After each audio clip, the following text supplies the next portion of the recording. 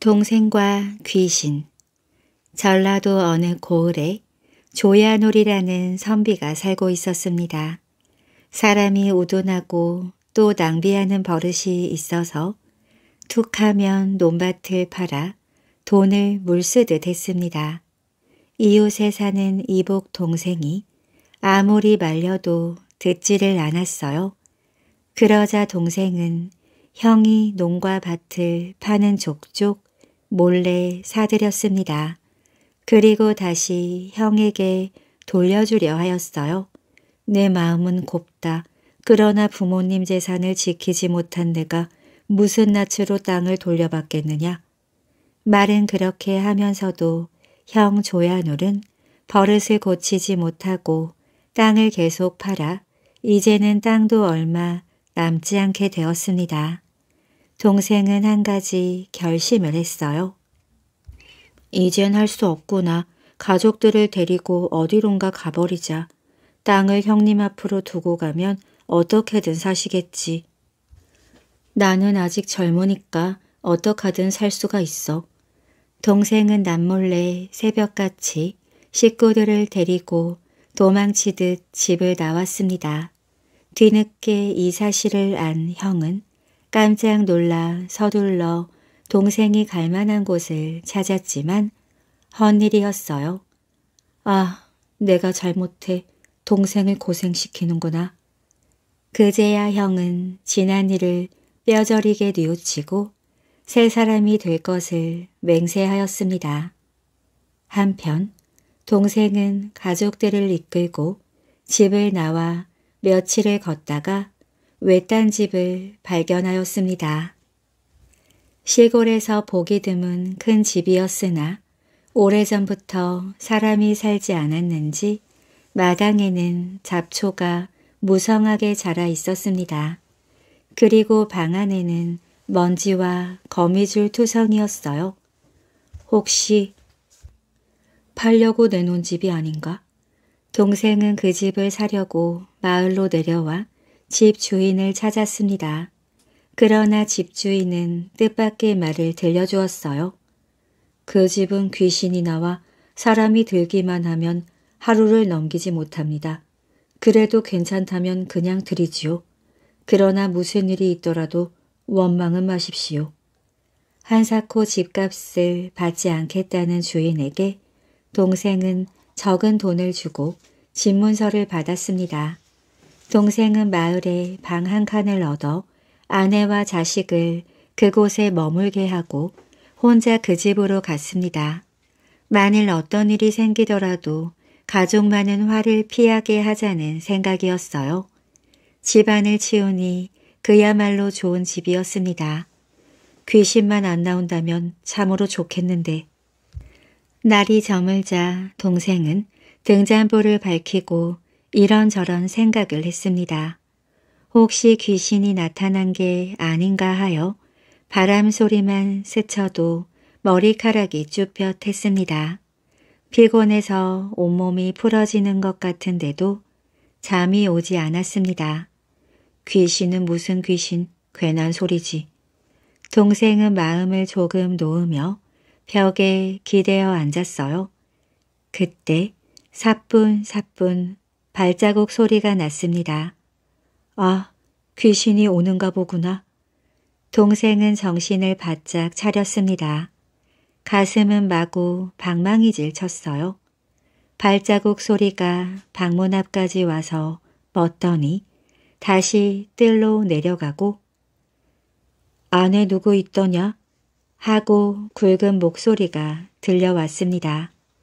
예, 이제야 우리가 찾는 사람이 온 모양입니다. 그러자 육중한 발자국 소리와 함께 아까 그 발자국 소리가 나더니 드르륵 방문이 열렸습니다. 성큼 안으로 들어서는 발의 임자는 이 세상 사람이 아닌 귀신임을 한눈에 알 수 있었어요. 그 옆에 서 있는 열두 서너 살쯤 되어 보이는 소녀는 그래도 사람과 비슷했습니다. 소년을 이끌고 온 귀신은 키가 천장을 뚫고 나갈 듯하고 시뻘건 눈은 등잔불처럼 빛났습니다. 그대는 귀신인가? 동생은 용기를 내어 물었습니다. 어째서 이곳에 나타나 죄 없는 사람들을 해치는가? 그런 게 아닌데 나는 보물을 지키는 귀신이요. 사람들에게 보물이 있는 곳을 알려주려고 나타나기만 하면 그때마다 사람들은 내 말을 듣기도 전에 기절해 죽고 말았소. 그런데 당신은 조금도 무서워하지 않는 걸 보니 착한 분이라는 생각이 드오. 그러니 더욱 보물을 가질 만한 자격이 있소. 귀신은 차근차근 말하였습니다. 귀신의 태도와 말투로 보아 거짓이 아닌 것 같았어요.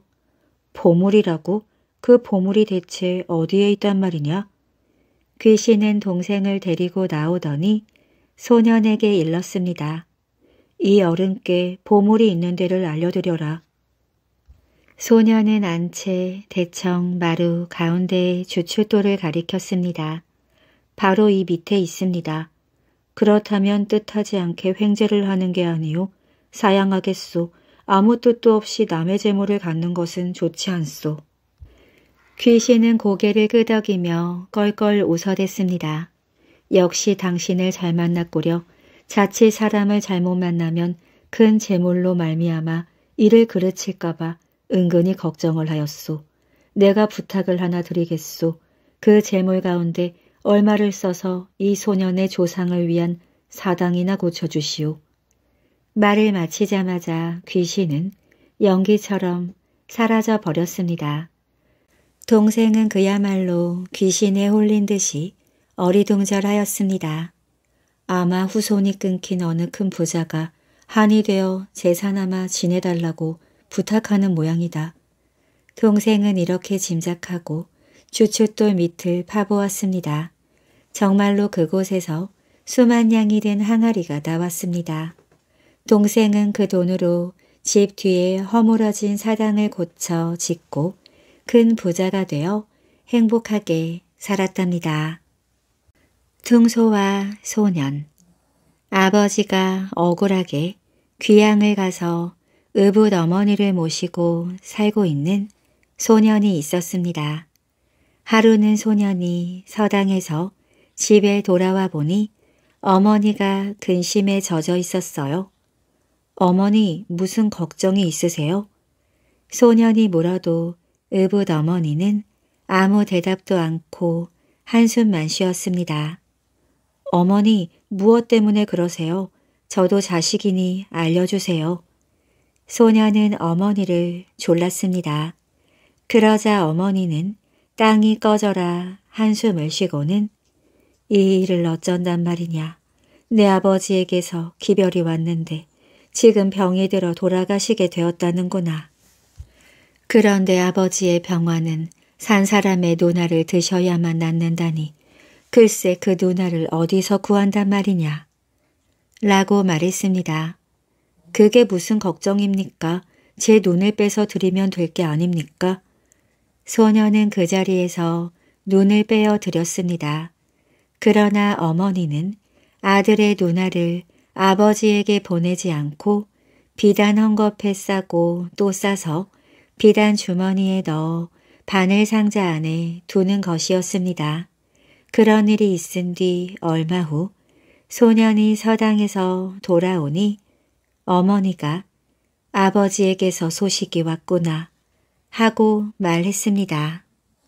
무슨 소식이에요? 아버지 병원이 좀 나으셨답니까? 아들은 어머니에게 물었습니다. 병이 좀 나아지기는 하셨다만 워낙 병이 깊어서 눈알 하나를 더 드셔야만 완전히 낫는다는구나. 의붓 어머니는 몹시 걱정스런 표정을 지어 보이며 말했습니다. 제 눈 하나를 더 드릴게요. 소녀는 자기의 눈 하나를 마저 뽑아서 어머니에게 드렸습니다.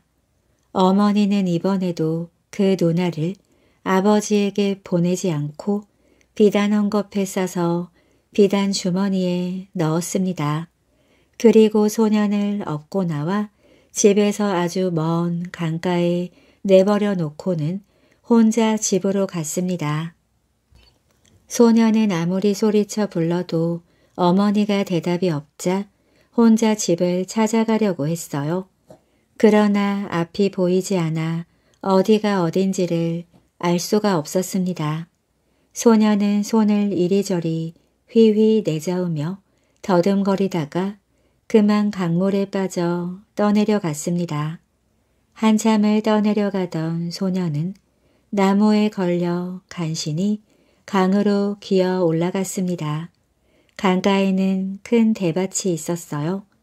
소녀는 더듬더듬 올라가 대밭 속으로 들어갔습니다.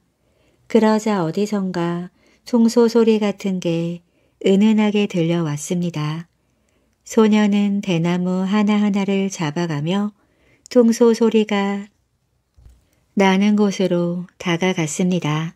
대나무를 잡아가며 얼마만큼 갔을 때 어떤 대나무를 잡자 소리가 뚝 그쳤습니다. 소녀는 이상하게 생각하고는 그 대를 꺾어서 불어보았습니다. 그러자 아까 들려오던 소리와 똑같은 퉁소 소리가 들려왔습니다. 퉁소 소리는 맑고 고슬펐습니다. 소녀는 그곳에 앉아 퉁소를 불었습니다. 퉁소를 불면 지루함도 배고픔도 사라졌어요. 그리고 불기만 하면 저절로 고운 가락이 흘러나왔습니다. 소녀는 떠돌이 거지가 되어 퉁소를 불며 돌아다녔습니다. 어느 날 원님이 그 퉁소 소리를 들었습니다. 아니 저렇게 퉁소를 아름답게 부는 이가 누구인가. 원님은 사령을 시켜 데려오라고 했습니다.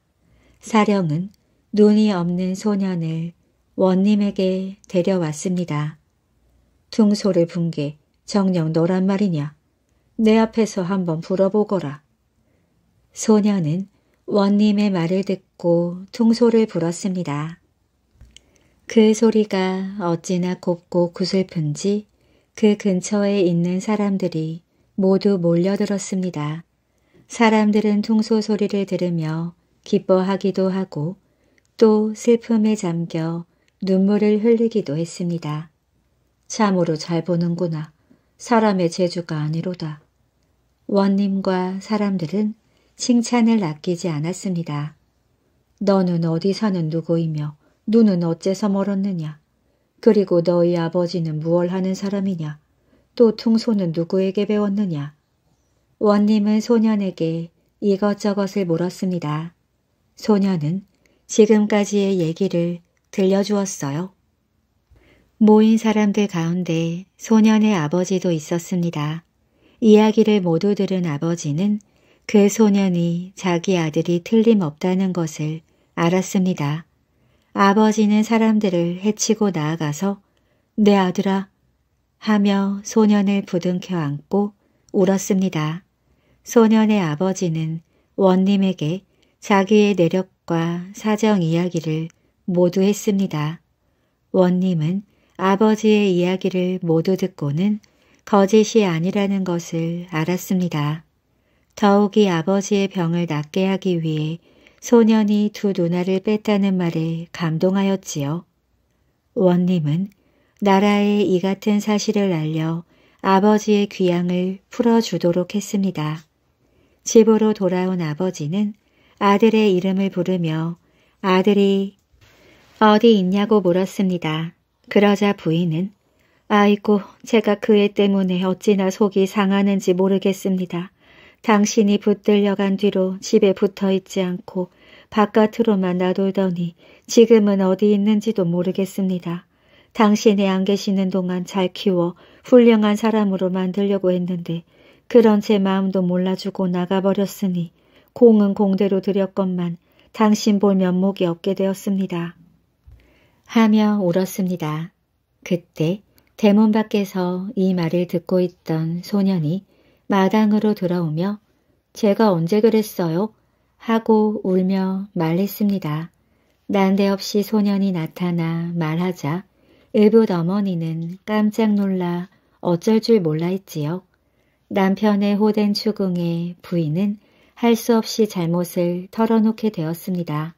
그럼 그 눈을 뽑아 어디다 두었소? 바느질 상자 속에 두었습니다. 부인은 바느질 상자 속에서 비단 헝겊으로 겹겹이 싼두 눈알을 꺼냈습니다.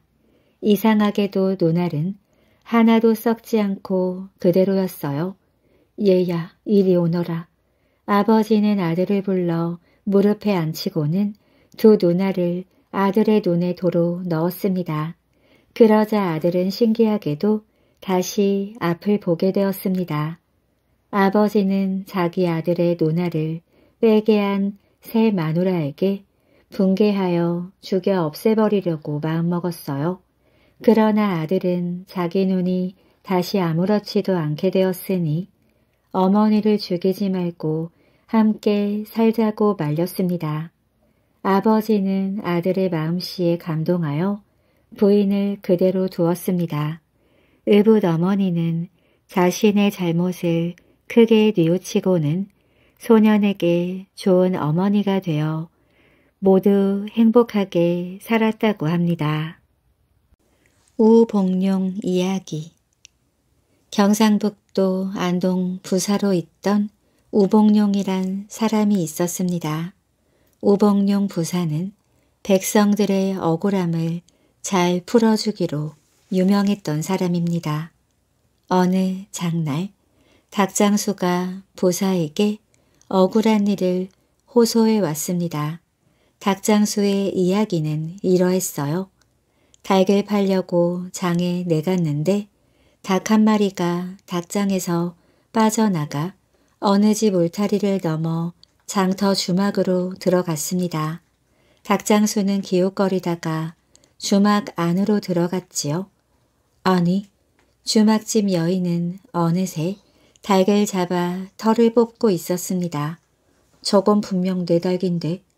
닭장수는 주막집 여인에게 말했어요. 여보시오, 이건 내 닭인데 왜 남의 닭을 잡는 거요? 뭐예요? 도대체 당신은 누군데 남의 집에 들어와 헛소리를 하는 거예요? 여인이 소리치자 남편이 뛰어와 웬 도둑놈이 야단이야? 하며 닭장수를 도둑으로 몰고는 몽둥이질을 했습니다. 닭장수는 실컷 얻어맞고 관가로 와서 억울함을 호소했던 것입니다.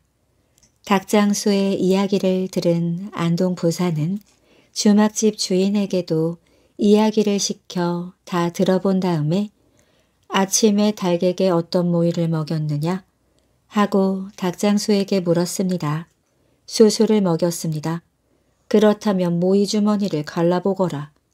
닭의 모이 주머니를 갈라보니 정말 수수가 잔뜩 들어 있었습니다. 부사는 주막 주인은 닭장수에게 닭 다섯 마리를 주거라 하고 판결을 내렸습니다. 또 이런 일도 있었어요. 길을 가던 나그네가 길가에서 낮잠을 자다가 돈주머니를 도둑 맞았습니다. 이 일로 재판을 하게 된 부사는 도대체 어디서부터 해결의 실마리를 풀어야 할지 알 수가 없어 골똘히 생각했습니다. 부사는 좋은 생각을 떠올리고는 나그네에게 물었어요.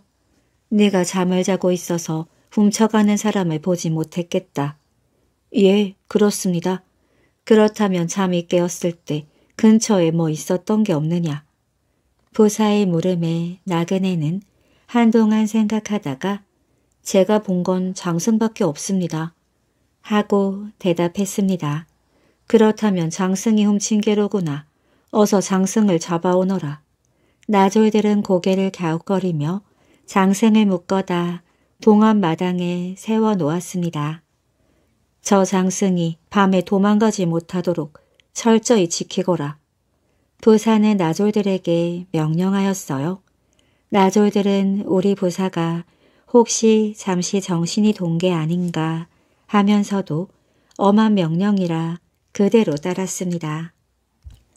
하룻밤이 지나고 날이 밝자 부사는 아정과 나졸들을 불러들였습니다. 어젯밤에 장승이 달아나지 않았느냐? 예, 장승을 보러 온 사람들은 없었느냐? 한 사람이 있었습니다. 그래 그 사람이 뭐라고 하지 않더냐. 중얼거려 잘 알아들을 수는 없었지만 장승에게 네가 억울하게 되었구나 하는 것 같았습니다. 여봐라 어서 그놈을 당장 잡아들여라. 나졸들은 재빨리 그 사람을 잡아들였습니다. 그 사람은 말할 것도 없이 나그네의 돈을 훔친 도둑이었습니다. 나그네는 제발이 저려 장승이 어떤가 보러 왔던 것입니다. 도둑은 나중에 자기가 도둑질한 곳을 꼭 둘러본다고 합니다. 이러한 우복룡의 번뜩이는 지혜로 그가 다스리는 고을의 사람들은 편안하게 지낼 수 있었답니다. 김선비의 어진 마음 옛날 옛날에 강릉에 김선비라는 사람이 살았습니다. 어찌나 가난한지 늙은 어머니께 끼니도 제대로 챙겨드리지 못할 정도였어요. 이를 가슴 아파하던 김선비의 어머니는 어느 날 아들을 불러 말했습니다. 우리 윗대 집안은 원래 부자였다. 그때 집안일을 했던 노비들이 남쪽 지방 섬에 흩어져 살고 있으니 그들을 찾아가 돈을 구해오도록 해라. 어머니는 상자에서 노비 문서를 꺼내 아들에게 주었습니다. 김선비는 바로 길을 떠나 그 섬에 도착했습니다. 섬에는 백채도 넘는 집들이 마을을 이루고 있었어요. 이 마을 사람들은 모두 김선비 집안 노비의 자손들이었습니다. 김선비가 노비 문서를 꺼내 보이자 마을 사람들이 차례로 김선비에게 절을 했습니다. 김선비는 촌장을 불러 말했어요. 내게 얼마의 돈을 모아주면 여러분을 노비에서 면하겠습니다. 정말입니까? 그렇게 해주신다면 백만 금인들 아깝겠습니까? 마을 사람들은 곧 몇 짐의 돈을 모아 김선비에게 바쳤습니다. 김선비는 노비 문서를 꺼내 그들 앞에서 불태우며 이렇게 말했어요. 이제 이 마을에 우리 가문의 노비는 한 사람도 없습니다. 김선비는 받은 돈을 싣고 섬을 나왔습니다. 돌아오는 길에 금강을 지나가게 되었는데 고요한 달빛이 강물에 비치는 밤이었습니다. 그때 강가에서 어떤 노부부와 젊은 여자가 서로 먼저 물에 들어가려고 다투며 말리기를 반복하다가 껴안고 통곡하는 것을 보았습니다. 괴이하게 여긴 김선비는 노인을 잡고 물었지요. 밤중에 대체 무슨 일입니까? 노인은 길게 한숨을 쉬며 말했습니다. 제 외아들이 관아에서 아전으로 일하고 있는데 관아의 재물을 사사로 있은 것이 만석이나 된답니다. 그래서 관아에서 아들을 옥에 가두고 우리 집과 일가 친척의 재산을 모두 가져갔는데도 다 변상하지 못했습니다. 내일까지 다 갚으라고 말미를 주었는데 그래도 갚지 못하면 아들은 형장의 혼백이 될 것입니다. 아들이 죽는 것을 보느니 차라리 내가 먼저 죽는 것이 나을 것 같아 강물에 뛰어들려고 했습니다. 그래서 제 처와 며느리가 이처럼 말리면서 한사코 같이 죽겠다고 합니다. 노인의 딱한 사정을 들은 김선비는 잠시 생각한 뒤 물었습니다. 아들이 쓴 것을 다 갚으려면 얼마가 더 필요합니까? 수천 양 정도입니다. 그렇게 큰 돈을 무슨 수로 구하겠습니까? 그러자 김선비가 노인의 손을 잡으며 말했습니다. 우리 집안의 노비들을 면해주고 받은 돈이 몇짐 있습니다. 그 정도면 충분히 재물값을 변상하고 아들을 구할 수 있을 것입니다. 김선비는 돈이 든 짐을 모두 노인에게 넘겨주었어요. 놀란 세 사람은 다시 통곡하며 김선비에게 엎드려 고마움을 표시했습니다. 노인이 말했어요. 선비께서 이토록 큰 배포로 우리 가족을 살려주시니 이 은혜를 어찌 갚아야 좋을지 모르겠습니다. 원컨대 저희 집에서 하루라도 쉬었다 가십시오. 제 아들도 풀려나면 선비님의 은혜를 잊지 않을 것입니다. 김선비는 그 제안을 거절했습니다. 이미 날이 저물었으나 돌아갈 길이 급합니다. 늙은 어머니께서 저를 기다리고 계실 것을 생각하면 한시라도 지체할 수 없습니다. 김선비는 바로 말을 몰아 길을 재촉했습니다. 노인은 멀리까지 따라오며 물었어요. 선비님이 사시는 곳과 이름만이라도 알려주십시오. 그것을 알아서 무엇하겠습니까? 김선비는 되돌아보지도 않고 말을 달려 가버렸습니다. 노인은 김선비가 준 돈으로 관아의 재산을 모두 변상했어요. 아들은 그날로 풀려났습니다. 온 가족이 김선비가 베풀어준 은혜를 고마워했으나 그가 어디에 사는 누구인지 알 길이 없었습니다. 김선비가 집에 도착하자 어머니는 아들이 무사히 돌아온 것을 기뻐했습니다. 김선비는 섬에서 노비들을 속량해 준 일을 자세히 알렸어요. 어머니는 더욱 기뻐하며 그 대가로 받은 돈은 어디에 있는지 물었습니다. 김선비가 대답했어요. 제가 금강을 지나는데 불행한 가족이 있기에 그들에게 모두 주었습니다. 어머니는 아들의 등을 쓰다듬으며 말했습니다. 잘했다. 역시 내 아들이구나. 몇 년 뒤 김선비의 어머니는 세상을 떠났습니다. 그동안 집안은 더욱 궁핍해져 산소조차 마련할 여력이 없었어요. 김선비는 마땅한 자리를 찾을 때까지 어머니를 텃밭에 우선 묻고 평소 알고 지내던 제사를 찾아가 어머니의 산소 자리를 찾았습니다. 여러 곳을 답사하던 중 한 곳에 이르러 제사가 말했어요. 이곳이 좋은 자리입니다. 여기에 산소를 쓰면 자손이 번성하고 대대로 부귀영화를 누릴 것입니다. 그러나 산 아래쪽에 졸라기 즐비하고 큰 집이 있는 것을 보니 반드시 이 땅에 주인이 있을 것입니다. 제사가 한숨을 쉬자 김선비가 말했습니다. 좋은 산소 자리라고는 하나 남의 땅에 어머니를 모실 수는 없지요. 날이 저물었으니 오늘은 저 큰 집에 가서 하룻밤 묵게 해달라고 청합시다. 김선비와 지사는 그 집으로 가서 하룻밤 머무르게 해달라고 청했습니다. 그러자 한 젊은이가 나와 그들을 안내했습니다. 세 사람은 함께 저녁밥을 먹은 후 이런저런 이야기를 나누었어요.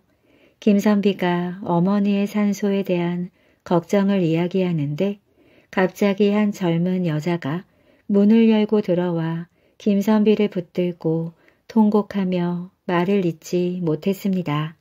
곁에 있던 젊은이가 놀라며 여자에게 그 까닭을 물었어요. 여보, 대체 무슨 일이요? 이분이 바로 금강에서 만났던 그 은인입니다.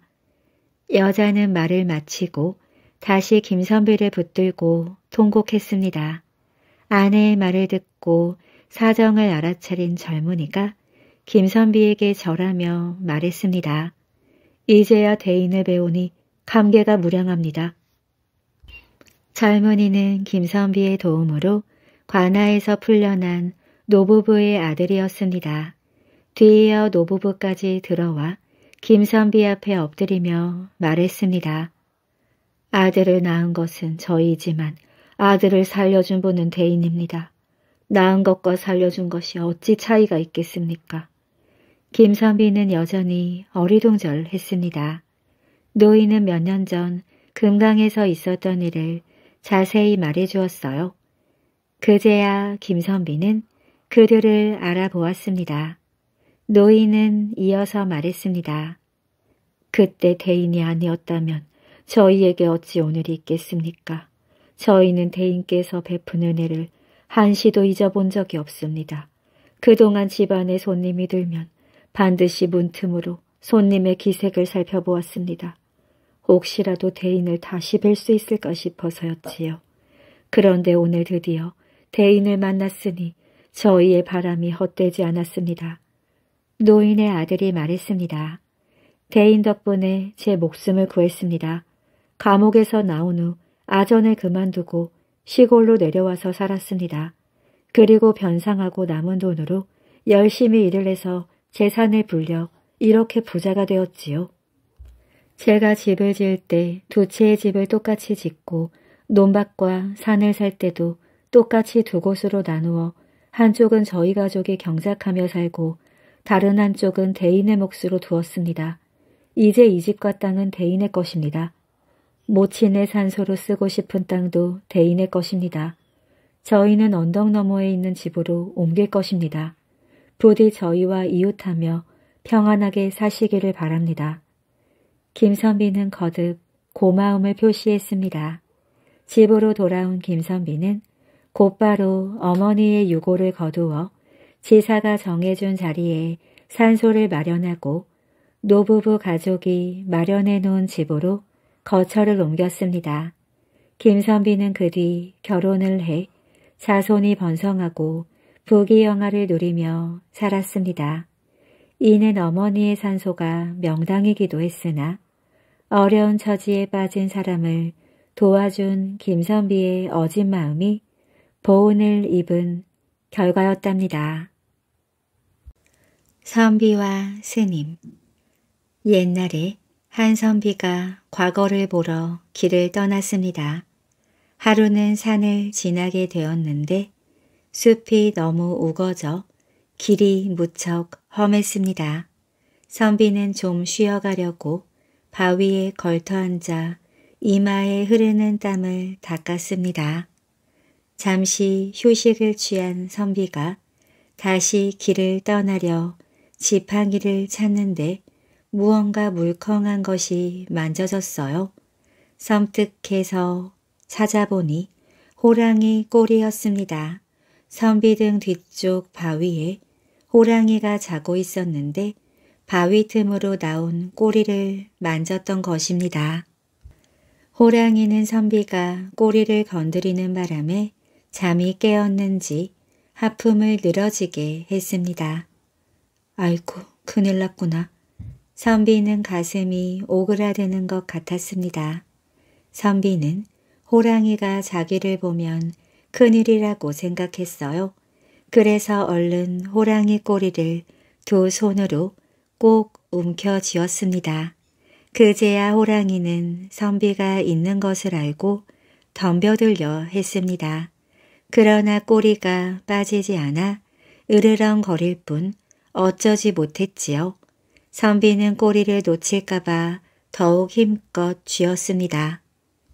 만약 놓치는 날이면 호랑이한테 죽을 것은 말할 것도 없는 일이니까요. 선비의 온몸에서 땀이 비오듯 흘렀습니다. 누구 좀 지나가는 사람이 없나? 아무리 도리번거려도 개미 새끼 한 마리 얼씬하지 않았습니다. 선비가 안타까워하며 몸부림치고 있을 때였어요. 저 아래쪽에서 사갓을 쓴 스님이 오고 있었습니다. 옳지, 이젠 살았구나. 저 스님께 도움을 청해야지. 생각하고는 스님, 저 좀 도와주세요. 하고 외쳤습니다. 스님은 무슨 일인가 싶어 급히 달려왔습니다. 스님, 거기 있는 지팡이로 이 호랑이를 잡아주십시오. 선비가 애원을 하자 스님은 옛부터 중은 산 것을 함부로 죽이지 않습니다. 하고 거절했어요. 선비는 몸이 바짝 달아 그럼 여기 오셔서 이것을 좀 잡고 계십시오. 그럼 호랑이는 제가 잡겠습니다.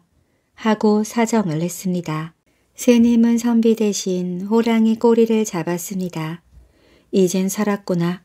선비는 궁둥이를 탁탁 털고 일어나 괴나리 보찜을 지고 떠나려 했습니다. 여보시오, 약속과 다르지 않소. 어서 호랑이를 잡으시오. 아까와는 달리 스님이 사정했습니다. 그러자 선비는 스님, 저도 짐승을 함부로 죽이기가 싫습니다. 하고 바쁘게 가버렸습니다. 스님은 있는 힘을 다해 호랑이 꼬리를 붙잡고 있어야만 했습니다. 밤이 되고 또 아침이 되었어요. 그러나 너무도 깊은 산속이어서 지나가는 사람이 아무도 없었답니다. 도깨비 덕에 튼튼해진 할아버지. 옛날 어느 마을에 할아버지가 살았는데 하루는 온종일 비가 철철 내리더래요. 그래서 물꼬를 터준다고 가래를 메고 논에 나갔습니다. 그런데 어디서 노랑내가 코를 푹푹 찌르는 겁니다. 이상하다. 어디서 노랑내가 나지? 코를 쥐고 여기저기 둘러봐도 노랑내 날만한 데가 없었습니다. 그래서 그냥 물꼬나 터주고 돌아가려는데 뒤에서 뭐가 상투를 쓱 잡아당기는 겁니다. 할아버지는 깜짝 놀라 뒤를 돌아봤지요. 그런데 아무도 없었습니다. 거참 이상하다 이상해. 할아버지가 고개를 갸우뚱거리면서 다시 걸어가는데 또 뒤에서 뭐가 상투를 쓱 잡아당기더래요. 할아버지는 깜짝 놀라 뒤를 돌아봤지요. 그런데 아무도 없었습니다. 할아버지가 고개를 갸우뚱거리며 다시 걸어가는데 또 뒤에서 뭐가 상투를 쓱 잡아당기는 겁니다. 할아버지는 얼른 뒤를 돌아봤어요. 그런데 역시 아무도 없었습니다. 걸어가면 잡아당기고 돌아보면 없고 귀신이 곡할 노릇이었지요. 할아버지는 뭐가 그러는지 알아내려고 걸어가는 채 하다가 재빨리 뒤를 돌아보았습니다. 그랬더니 논둑 아래 뭐가 눈을 빼꼼히 내밀고 숨어 있는 거예요.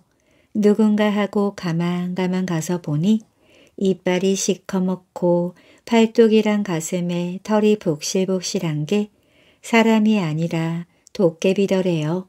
어디서 노랑내가 풍기나 했더니 바로 도깨비였던 겁니다. 이놈 남의 상투는 왜 잡아당기노? 할아버지는 버럭 소리를 지르면서 가래로 도깨비 뺨을 철썩 때렸습니다. 도깨비는 찔찔찔 눈물을 흘리다가 두고 보자 하면서 논 속으로 빠져들어 가더래요. 흥, 제깟 놈이 두고 봐서 뭘 어쩌게. 할아버지는 코웃음을 치면서 집으로 갔습니다. 그런데 막 대문을 들어서려는 참에 갑자기 뭐가 상투를 확 낚고 채더니만 할아버지를 냅다 집어 던졌습니다. 할아버지는 하늘로 솟구쳤다가 벼락치는 소리를 내면서 나동그라졌어요. 그 소리에 놀라 집안 식구들이 달려나와 보니 할아버지가 문간에 철퍼덕 엎어져 있었습니다. 식구들은 할아버지를 들쳐 업어다 방에 놓이고 의원을 부른다 약을 다린다 야단이 났지요.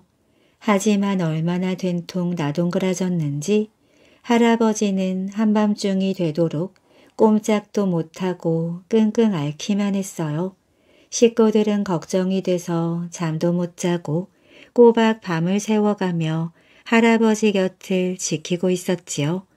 그렇게 한밤중이 지나고 새벽이 가까워 올 무렵 할아버지가 난데없이 벌떡 일어나더니 저놈 잡아라 하고 소리를 질렀습니다. 식구들이 왜 그러냐고 물어도 대꾸도 않고 문 쪽을 노려보기만 했어요. 그러더니 밖으로 달려나가려는 겁니다. 그 몸으로 어딜 가시려고요? 어서 도로 누우세요. 식구들이 달려들어 할아버지를 꽉 붙들었지요. 그런데 웬걸요. 할아버지가 팔을 한번 휘저으니까 다들 우수수 나가 떨어졌습니다. 그러고 나서 할아버지는 바깥으로 손살같이 달려나갔어요.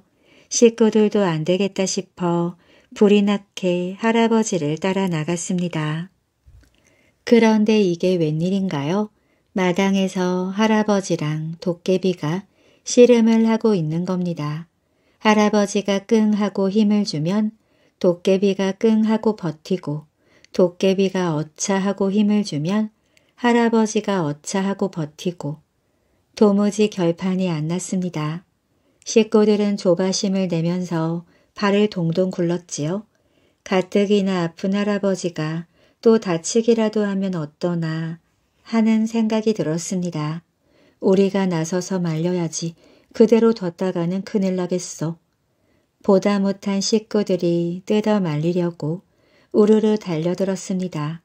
그러자 할아버지가 버럭 소리를 질렀어요. 거기 가만히들 서 있어.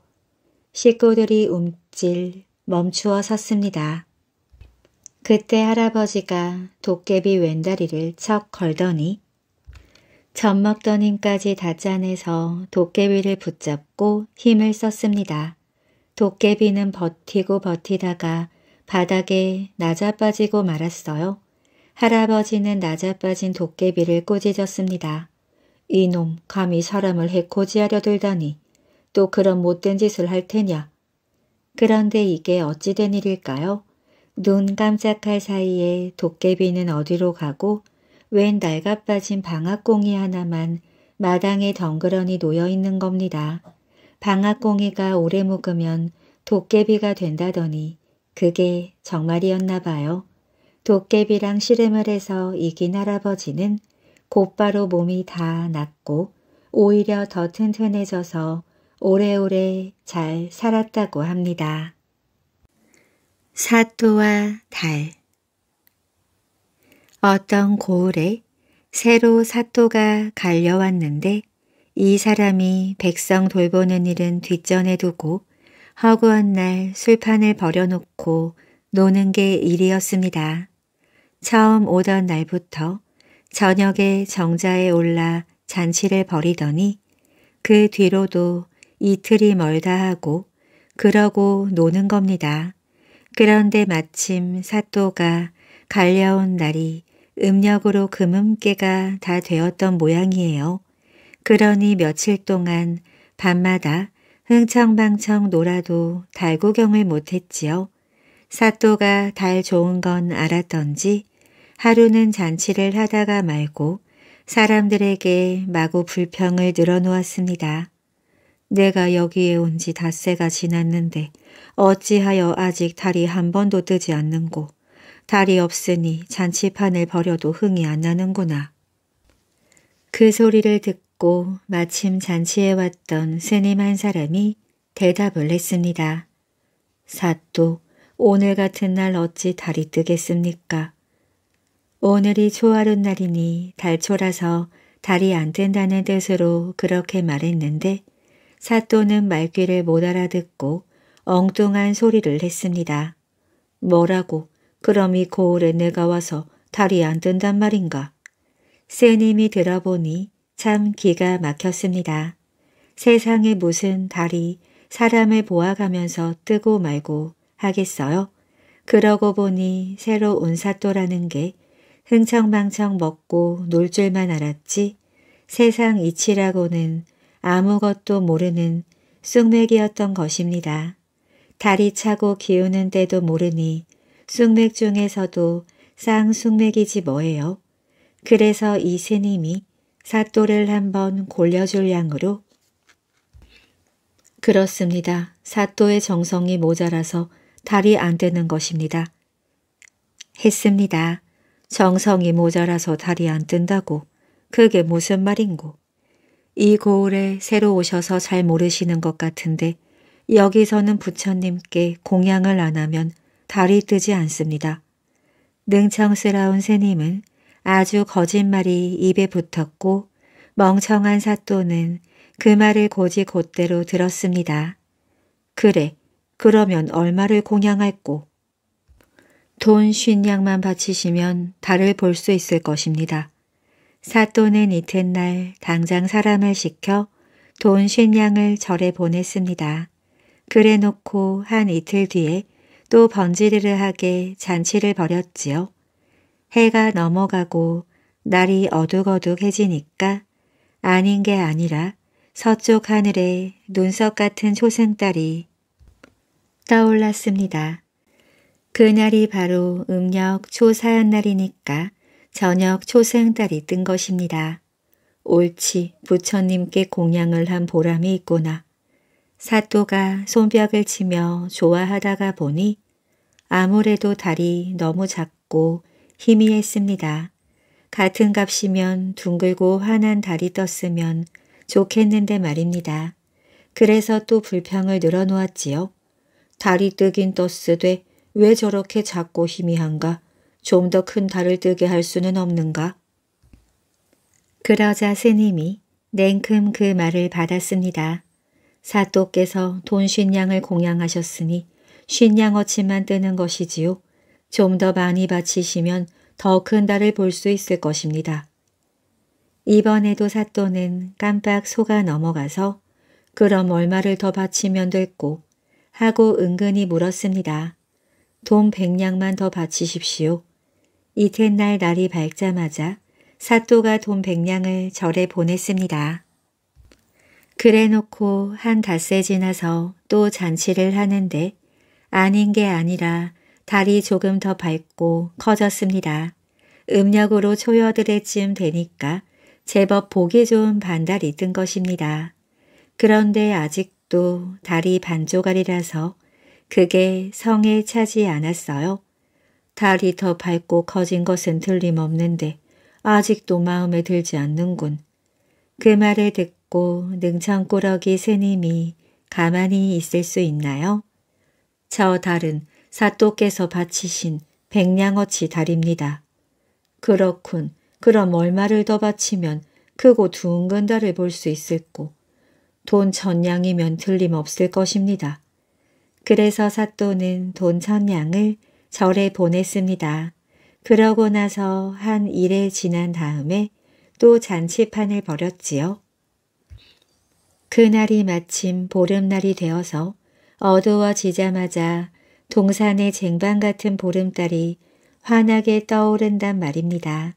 그걸 보고 이 사또가 무릎을 탁 치면서 한다는 말이 그럼 그렇지 이제야 달이 제대로 떴구나.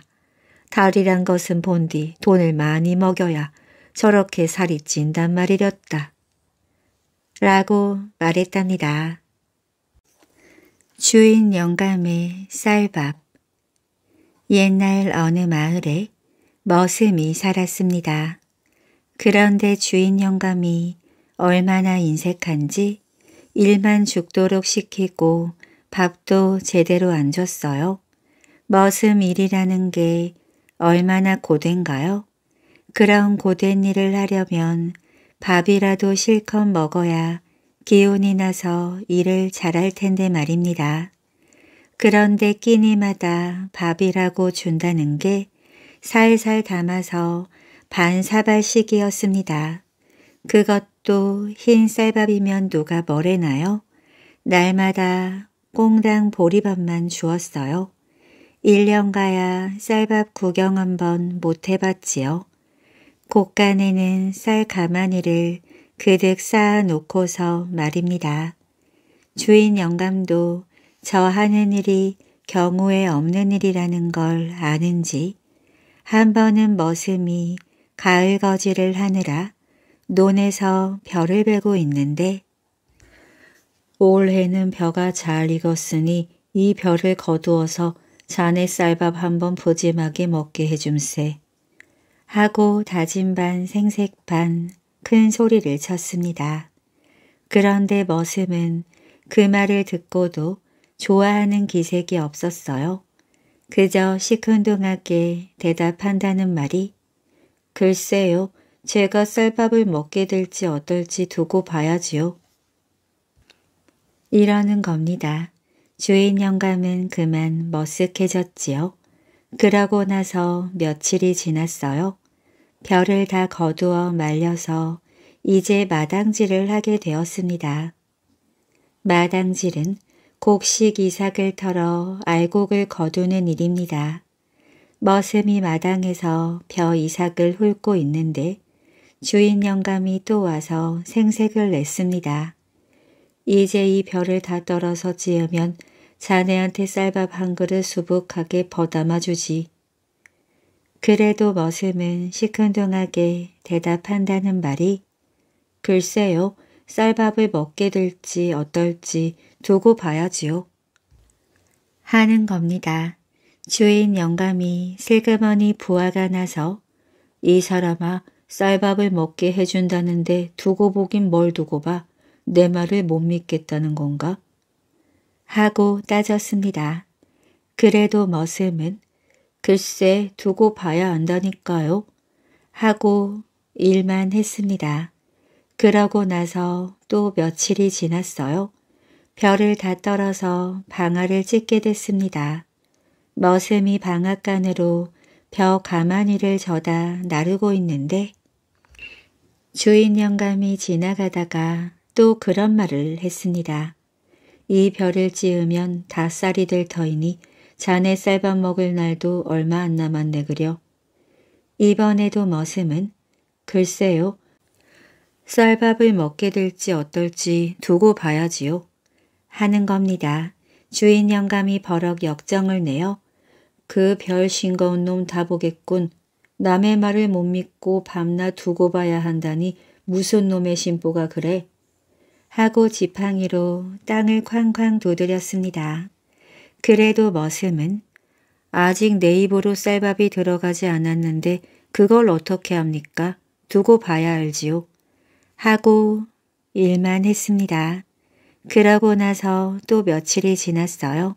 방앗간에서 별을 다 찧어와서 곳간에 그득하니 쌓아놓게 됐습니다.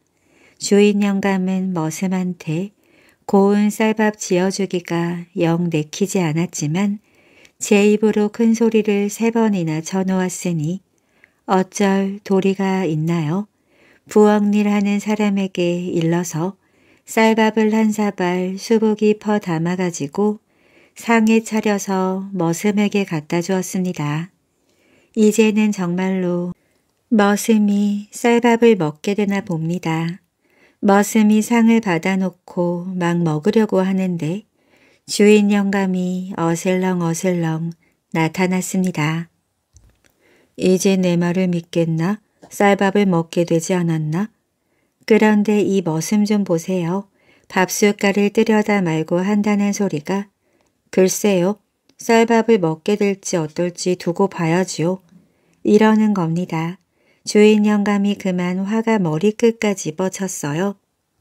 뭐가 어째? 사람을 놀려도 분수가 있지 밥상을 눈앞에 받아놓고도 두고 봐야 한다고? 에라 이 고약한 놈. 주인 영감이 분을 못 이겨 밥상을 냅다 걷어차 버렸습니다. 그 바람에 밥상이 퍽 엎어지면서 쌀밥이 다 쏟아져 버렸지요. 그러니 머슴은 끝내 쌀밥을 못 먹게 되었습니다. 머슴이 꾸무럭꾸무럭 일어나면서 하는 말이 그러기에 내가 뭐라고 그럽디까 두고 봐야 안다지 않았습니까? 다 된 밥도 먹어야 먹은 것이지 먹기 전까지는 두고 봐야 하는 법입니다. 주인 영감은 입이 열 개라도 할 말이 없게 돼버렸습니다. 그 다음부터는 생색도 안 내고 쌀밥을 아주 잘 주었다고 합니다. 도깨비 놀리기 옛날 어느 마을에 김서방이 살았는데 어둑어둑 해가 질 무렵 개를 잡으러 개울에 갔습니다. 개울에 들어가 개 그물을 치고 개가 걸려들기를 기다리는데 저만치 위에서 누가 개 떠내려간다, 개 떠내려간다 하고 소리를 치는 겁니다. 설마 개가 떠내려 올까 하고 있는데 정말 살이 통통하게 오른 개가 둥둥 떠내려 왔습니다. 김서방은 이게 웬 떡이냐 하고 개를 바구니에 가득가득 주워 담았지요. 그런데 집에 와서 보니 바구니에 개는 한 마리도 없고 개똥만 잔뜩 들어차 있더래요. 김서방은 약이 올라 고래고래 소리쳤지요. 어떤 놈이 장난친 거야? 김서방 마누라가 점심을 차린다고 마루에 앉아 국수를 써는데 갑자기 부엌 칼이 손에서 쑥 빠져나가더니 안방문 틈으로 휙 날아 들어갔습니다. 깜짝 놀라 눈이 휘둥그레졌는데 안방으로 들어갔던 부엌칼이 도로 휙 날아오는 겁니다. 부엌칼이 안방에서 마루로, 마루에서 안방으로 쉴 새 없이 들락날락 들락날락 김서방 마누라는 기가 막혀서 바락바락 소리를 질렀습니다. 어떤 놈이 장난치는 거야. 또 김서방 마누라가 국수 삶을 물을 끓인다고 부엌에 들어갔는데 갑자기 솥뚜껑이 천장으로 휙 솟구치더니 뚝 떨어져 솥 안으로 와장창 박혀버렸대요. 김서방 마누라가 솥뚜껑을 빼내려고 아무리 잡아당겨도 꼼짝을 안 했습니다. 이런 솥을 어디다 쓰겠어요? 김서방 마누라는 속이 상해 바락바락 소리를 질렀습니다. 어떤 놈이 자꾸 장난치는 거야. 한 번은 김서방 막내딸이 빨래를 걷는다고 마당에 내려섰는데 빨랫줄에 걸려있던 빨래가 홀딱 내려오더니 저 혼자 막 걸어다니는 겁니다. 막내딸이 빨래를 잡으려고 다가갔더니 빨래가 막 달려 도망을 치는 거예요. 막내딸이 빨래를 잡으려고 또 달려갔더니 빨래가 둥실 떠올라 이리저리 달아났습니다. 막내딸은 빨래를 잡으려고 팔짝팔짝 뛰다가 엉덩방아를 찧었습니다. 약이 오른 막내딸이 소리를 질렀어요. 누가 이런 장난을 치는 거야? 하루는 김서방이 모내기를 했습니다. 그런데 이튿날 논에 나가보니까 모가 싹 뽑혀 나갔어요. 김서방은 할 수 없이 다시 모내기를 했지요. 그러고 나서 이튿날 논에 나가보니까 모가 또 뽑혀 있는 겁니다. 김서방은 할 수 없이 다시 모내기를 했어요. 그리고 이튿날 또다시 논에 나가봐도 모가 뽑혀 있었습니다. 머리 꼭대기까지 화가 난 김서방이 고래고래 소리쳤어요. 어떤 놈이 자꾸 이런 못된 장난을 치는 거야? 이웃집 할아버지가 팔팔 뛰는 김서방한테 말했습니다. 도깨비란 놈은 메밀묵을 아주 좋아하니까 메밀묵을 뿌려주면서 살살 구슬러 보게나. 그러면 정말 도깨비가 장난을 안 칠까요? 하지만 말할 때 조심하게. 도깨비란 놈은 정개구리 마냥 뭐든 거꾸로 하거든. 지금까지 한 일들이 모두 도깨비가 한 일이라는 것입니다. 김서방은 얼른 메밀묵을 한 소 쑤어다가 논에 뿌려주면서 말했어요. 도깨비들아 이 메밀묵 실컷 먹고 제발 모 좀 뽑아가지 말아라. 그러고 나서 도깨비는 뭐든 거꾸로 한다는 말이 떠올랐습니다. 그래서 논바닥에 메밀묵을 뿌려주며 다시 말했지요. 도깨비들아 우리 논에 지금 뭐가 딱한 폭이 남았구나. 남은 한 포기도 마저 뽑아가거라. 이 메밀국 실컷 먹고 깨끗이 아주 다 뽑아가거라. 그러고 집으로 돌아왔다가 이튿날 아침 논에 나가보았어요. 그랬더니 논에 모가 빼곡히 들어차 있었습니다. 김서방이 좋아라 어깨춤을 덩실거리면서 말했지요. 누가 이렇게 모를 예쁘게 잘 심어놨나? 그 뒤로 김서방은 가끔 메밀묵을 쏘아다가 논에 뿌려 주었다고 합니다. 도량 남매의 혼사 한 암행어사가 경상도 서쪽 지방으로 암행을 떠났습니다. 진주 땅에 이르러 따르던 종인들과 서로 길이 엇갈리는 바람에 혼자 남게 되었어요. 곧 날이 저물어 유숙할 곳을 찾는데 마침 한 총가가 보였습니다. 어사는 그 집 문을 두드리며 하룻밤 묵어갈 것을 정했지요. 지나가는 사람인데 하룻밤만 자고 가게 해주시오. 한 도령이 나와서 어사를 공손하게 맞았습니다. 도령은 양반 가문의 자손으로 성혼할 나이가 되었지만 집이 가난해 결혼을 하지 못했습니다. 집이 누추해 손님께서 불편하실까봐 걱정입니다. 도령은 어사를 방 안으로 들게 해 정성껏 대접했습니다. 두 사람은 도령의 노이가 차려온 저녁밥을 함께 먹은 후 이런저런 이야기를 나누다가 잠자리에 들었습니다.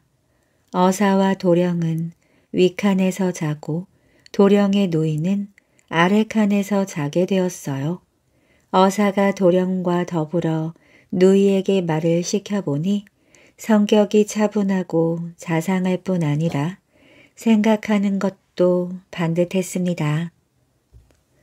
남매가 서로 한 방에 거처하지만 서로 예절을 엄격히 지켰지요. 어사가 도령에게 물었습니다. 나이가 장성했는데 결혼을 못한 까닭이 혹시 있는가? 도령이 대답했습니다. 저희 집이 가난해서 사람들이 제게 딸을 시집 보내기를 꺼립니다. 그런데 얼마 전 앞마을의 한 부잣집 딸과 혼인하기로 정했는데 그 집 주인이 제 가난을 핑계 삼아 혼인 약속을 어기고 건너마을 부잣집과 혼인을 맺기로 했답니다. 바로 내일이 혼례를 치르는 날입니다.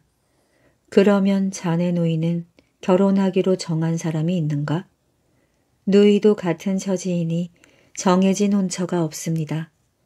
어사는 두 남매의 처지가 딱하고 불쌍했습니다. 도령이 가난하다는 이유로 혼인 약속을 어긴 그 부자의 소행도 괘씸했지요. 다음 날 어사는 그 부잣집으로 갔습니다. 대문은 높고 컸으며 마당 역시 매우 넓었어요. 차이를 높이 치고 멍석을 깐 마당에 음식이 성대하게 차려져 있었습니다. 마당 한 가운데에는 화려한 병풍을 두른 홀레상이 곧 들어설 신랑을 기다리고 있었습니다. 또 대청 마루에는 주인과 귀한 손님들이 자리를 차지하고 술과 음식을 먹고 있었지요. 삶고 굽고 지진 온갖 음식이 주인이 앉아있는 상으로 쉬지 않고 올라갔습니다. 그때 어사가 큰 소리로 말했어요. 지나가던 사람입니다. 배가 고파서 그러니 음식을 좀 주십시오. 어사의 목소리를 들은 주인은 얼굴을 찡그리며 하인들에게 말했습니다. 웬 거린이 남의 잔치집에 와서 큰 소리냐. 당장 쫓아내라. 어사는 잠시 밀려 나갔다가 다시 들어와서 더 크게 소리쳤습니다. 성대한 잔치에 고기와 술이 넘쳐나거늘 어찌 굶주린 사람에게 음식 한 그릇 대접하지 않는단 말이오. 어사가 계속 소리를 지르며 마루를 향해 나아가자 주인은 하는 수 없다는 듯 하인에게 말했습니다. 저기 한쪽 구석 자리에 음식을 대강 차려주고 보내버려라. 하인은 엎어진 술잔을 세워 찬술을 붓고 먹다만 음식을 그릇 몇 개에 담아 상을 차려 주었습니다. 어사는 비웃으며 말했어요. 거린이나 귀인이나 손님은 다 같은데 남이 먹던 음식을 주면서 어찌 이리 박대한단 말이오.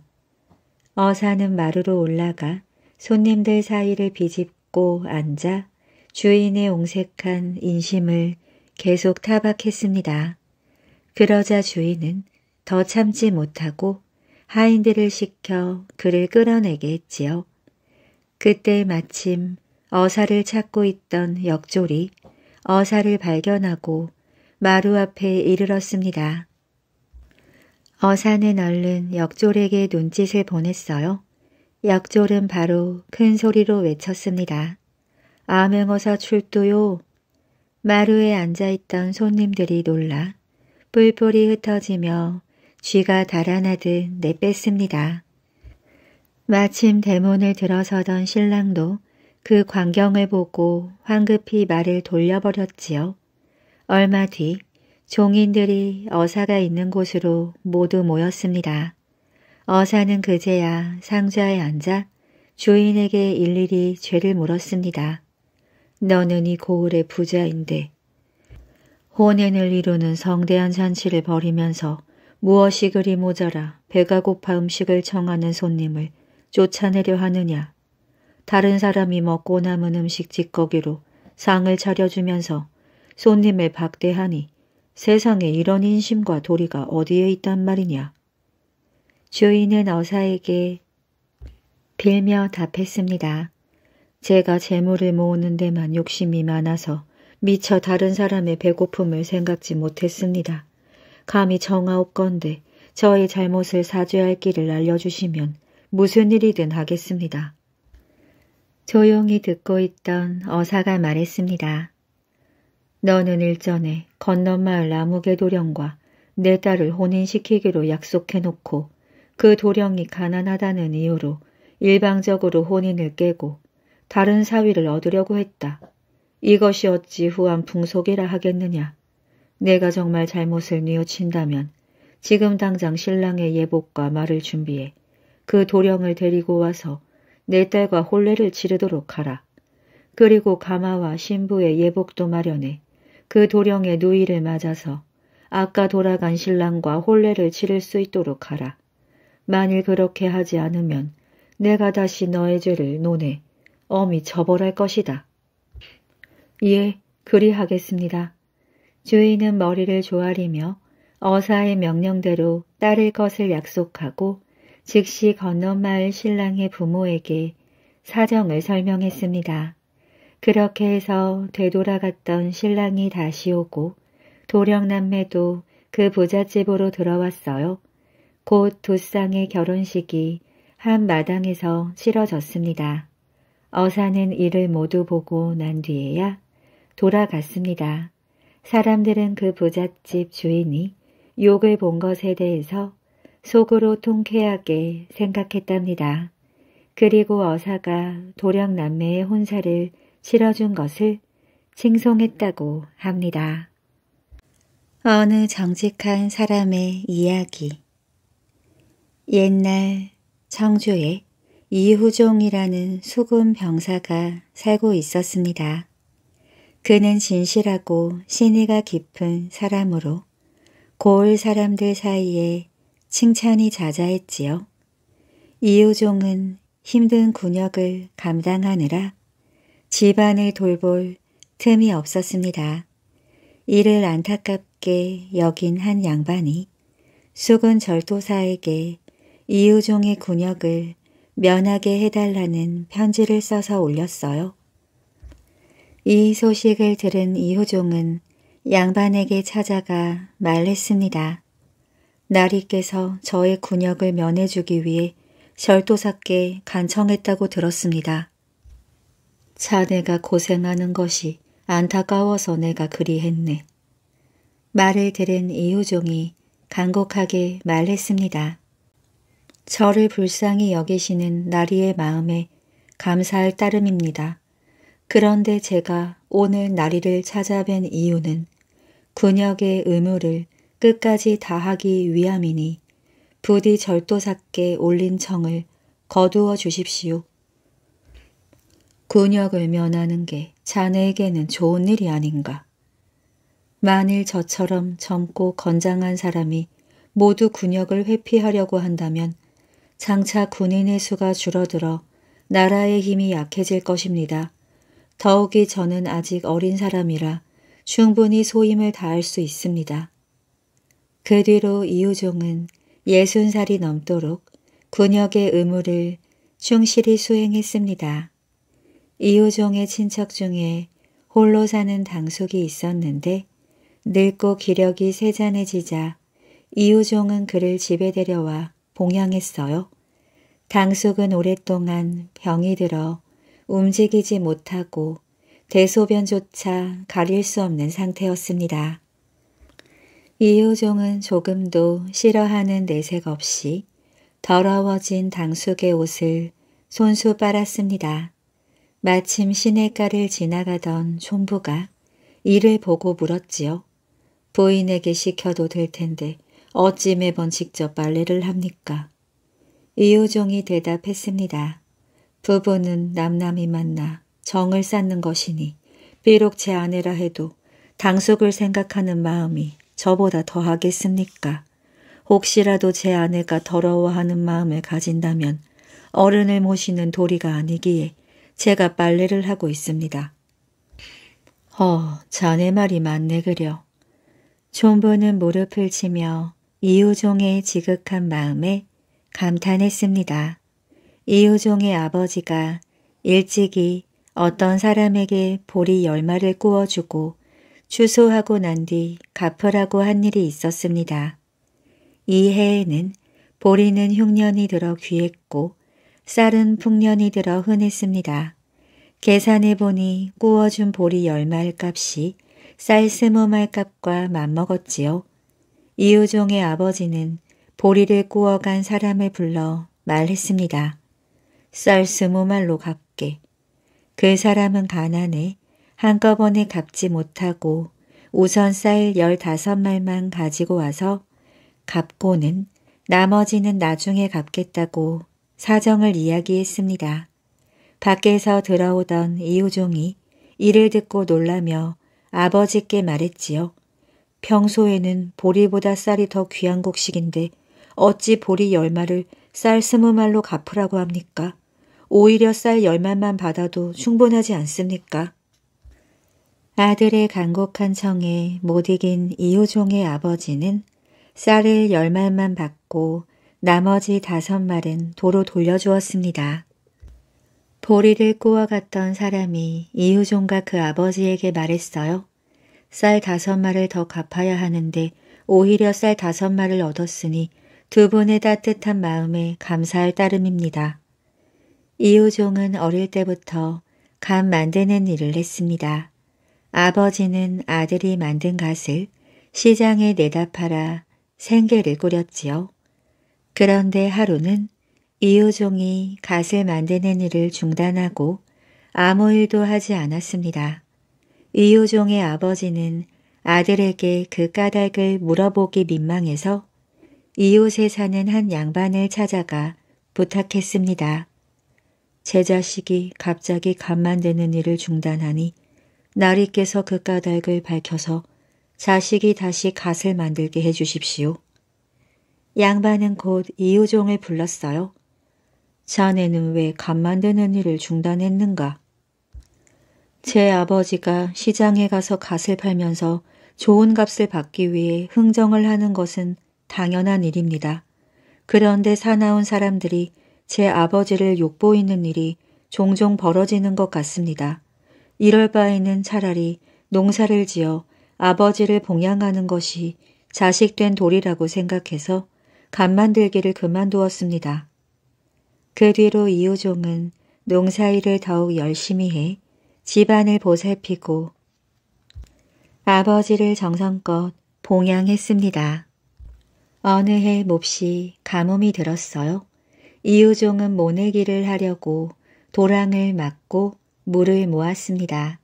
그날 밤 같은 마을에 사는 사람이 모아놓은 물을 터서 자신의 논에 물을 대려고 했어요. 그러나 그 논은 이우종의 논보다 위쪽에 있어 물이 올라가지 못하고 아래로 흘러갔습니다. 이를 안 이우종의 아버지가 몹시 화를 내며 그 사람의 집으로 달려가려고 했습니다. 그런데 이호종이 아버지를 말리며 간곡하게 말했어요. 가뭄을 당해 자기 논에 물을 대고자 하는 마음은 모두 같을 것입니다. 비록 그 논이 위쪽에 있다 한들 오죽하면 그랬겠습니까? 부디 그 사람을 욕하지 마십시오. 곧 가뭄이 풀릴 것입니다. 이렇게 이우종은 평생 이웃을 섬기고 부모를 공경하며 행복하게 살았답니다. 소나기와 약재 장수 예전에 한 약재 장수가 있었습니다. 그는 늙도록 혼자 살면서 자식과 집도 없이 약재상을 떠돌아 다니며 숙식을 해결했어요. 그러던 어느 날 약재상 근처로 임금의 행차가 지나가는데 갑자기 장대비가 쏟아졌습니다. 행차를 구경하러 모인 사람들이 비를 피해 약재상의 방과 처마 밑으로 몰려들었지요. 비가 이렇게 많이 쏟아지기는 생전 처음이네. 그러게 말일세. 그때 방 안에 앉아있던 약재 장수가 말했습니다. 오늘 비는 꼭 내가 젊은 시절에 조령에서 만난 비 같습니다. 곁에 있던 사람이 이를 듣고 말했습니다. 비면 비지 오늘 비 어제 비가 어디 있소. 비에 얽힌 사연이 생각나서 한 말입니다. 그때도 오늘처럼 빗발이 거셌지요. 비에 얽힌 사연이라 어디 한번 들어봅시다. 약재 장소는 잠시 생각에 잠겼다가 이야기를 시작했습니다. 어느 해 여름에 귀한 약재가 떨어져서 경상도까지 가서 사오려고 급히 길을 떠났습니다. 한낮에 조령을 넘는데 갑자기 소나기가 세차게 퍼부어서 더 이상 길을 갈 수가 없었지요. 비를 피하려고 이리저리 헤매다가 상기슬게 있는 초막을 발견하고 들어갔는데 한 노처녀가 혼자 있었습니다. 처녀는 조금도 불편해하는 기색이 없었지요. 마치 오랫동안 나를 기다린 사람 마냥 다정하게 대해주었습니다. 그래서 그 처녀와 꿈같은 시간을 보내고 나니 비가 그쳤습니다. 나는 갈 길이 바쁜 나머지 처녀가 어디 사는 누구인지 물어보지도 않고 그곳을 나와 길을 떠났지요. 오늘의 비가 꼭 그날 내렸던 비 같아서 불현듯 그 일이 떠올랐습니다. 약재 장수가 이야기를 마치자 처마 밑에서 이야기를 듣고 있던 한 젊은이가 마루로 올라와 공손히 물었습니다. 조금 전에 이야기를 한 분이 누구신가요? 사람들이 약재 장수를 가리키자 젊은이는 그 노인에게 절을 올리며 말했습니다. 지금이라도 아버님을 뵐 수 있어서 천만 다행입니다. 그 말을 들은 사람들이 놀라 수근거렸습니다. 노인 역시 이상하게 여기며 물었지요. 어찌 젊은이가 내 자식이란 말이오. 제 아버지의 몸에는 표식이 될 만한 것이 있다고 들었습니다. 송구하오나 저고리를 잠시 벗어주시면 안 되겠는지요. 노인은 저고리를 벗고 젊은이에게 몸을 보여주었습니다. 젊은이는 노인의 허리 부근을 유심히 살펴본 뒤 말했지요. 들림없이 저희 아버님이 맞습니다. 그것을 지켜보던 사람들이 신기해했습니다. 어찌된 일인지 그 연유나 들어봅시다. 저희 어머니께서 젊은 시절에 초막을 지키다가 소나기를 맞았는데 한 행인과 정을 나눈 후에 저를 낳았다고 합니다. 제가 자라면서 아버지가 안 계시는 것을 이상하게 여겨 어머니께 자세히 여쭈어 보았습니다. 그런데 어머니께서 들려주신 말씀이 조금 전 제 아버지께서 하신 이야기와 똑같았습니다. 그리고 어머니께서 제 아버지의 등허리 밑에 검은 사마귀가 있다고 말씀해 주셨습니다. 어머니의 말씀을 듣고 저는 아버지를 찾기 위해 12살 때 집을 떠나 팔도를 두루 돌아다닌 지 6년째입니다. 오늘에야 아버지를 배우니 하늘이 저를 도운 것입니다. 정말 천만 다행한 일입니다. 이어 젊은이는 약재 장소에게 말했습니다. 아버지께서는 이제 여기에 머무르지 말고 저와 함께 가시지요. 제가 열심히 농사를 지어 부모님을 봉양하겠습니다. 어머니는 오로지 아버지만을 기다리며 홀로 살고 계십니다. 이 광경을 지켜본 사람들은 모두 혀를 차며 기이한 일이라고 했습니다. 외로운 노인이 장성한 아들을 얻었으니 이보다 경사스러운 일이 어디 있겠소. 거기다 조강지처까지 기다리고 있다니 저 사람은 참으로 복받은 사람입니다. 약재상 주인도 아들과 함께 가라고 권했습니다. 약재 장소는 기뻐했으나 갑자기 떠나려니 어색한 마음이 들어서 머뭇거렸어요. 아들이 말했습니다. 아버지, 떠날 여비는 제가 다 마련해 두었으니 걱정 말고 함께 가시지요. 사람들도 아들을 따라가라고 애써 권하며 조금씩 돈을 거두어 주었습니다. 약재상 주인도 돈을 보태 주었어요. 어느새 비가 그치고 하늘이 겠습니다. 약재장수와 아들은 사람들과 작별하고 길을 떠났습니다. 그 뒤 약재장수는 부인과 아들의 따뜻한 보살핌을 받으며 행복하게 살다가 일생을 마쳤다고 합니다. 선비와 맹정승 맹사성 정승이 고향인 온양에서 여름철을 보낼 때의 일입니다. 맹정승은 어려서부터 낚시를 좋아해 그날도 집앞 냇가에서 낚싯대를 들이우고 흐르는 물을 굽어보고 있었습니다. 간밤에 내린 비로 냇물이 제법 불어 힘차게 흘렀지요. 저녁이 다 되어 가는데도 맹정승은 일어날 줄을 몰랐습니다. 그때 한양에서 온 듯한 키가 후리후리한 선비가 냇가로 왔습니다. 내가 깊어 버선을 벗고 정강이까지 옷을 걷어 올리지 않으면 건널 수가 없었습니다. 어허, 이거 큰일이로구나. 양반 체면에 버선 벗고 건널 수도 없고. 선비는 혼잣말로 중얼거렸습니다. 사람을 불러다가 엎혀서 건너야 할 텐데 선비는 사방을 두리번거렸어요. 그러다가 선비는 냇가 위쪽에서 낚시를 하고 있는 맹사성을 보았습니다. 죽으라는 법은 없지. 저놈을 불러다가 건너면 되겠구나. 선비는 맹사성 쪽에다 대고 소리쳤습니다.